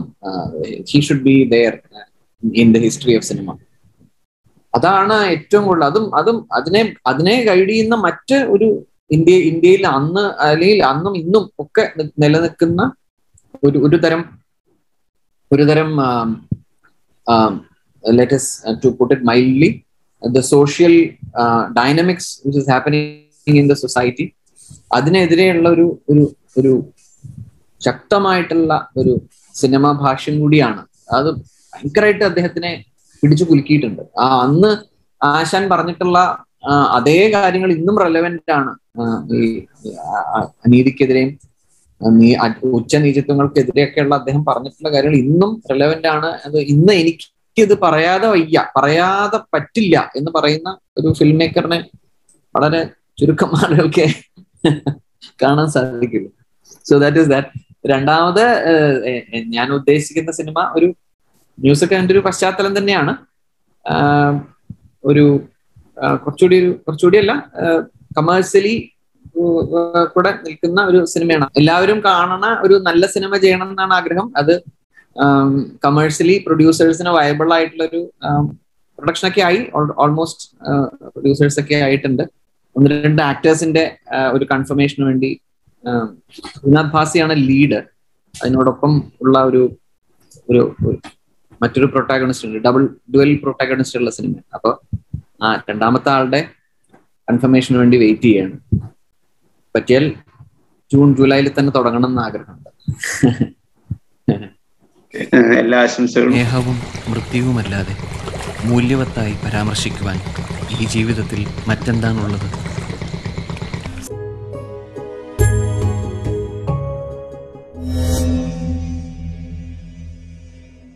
മീഡിയ മാതെങ്കിൽ മറക്കാതെ സബ്സ്ക്രൈബ് ചെയ്യും. നിങ്ങളുടെ അഭിപ്രായങ്ങൾ കമന്റ് ചെയ്യും. താങ്ക്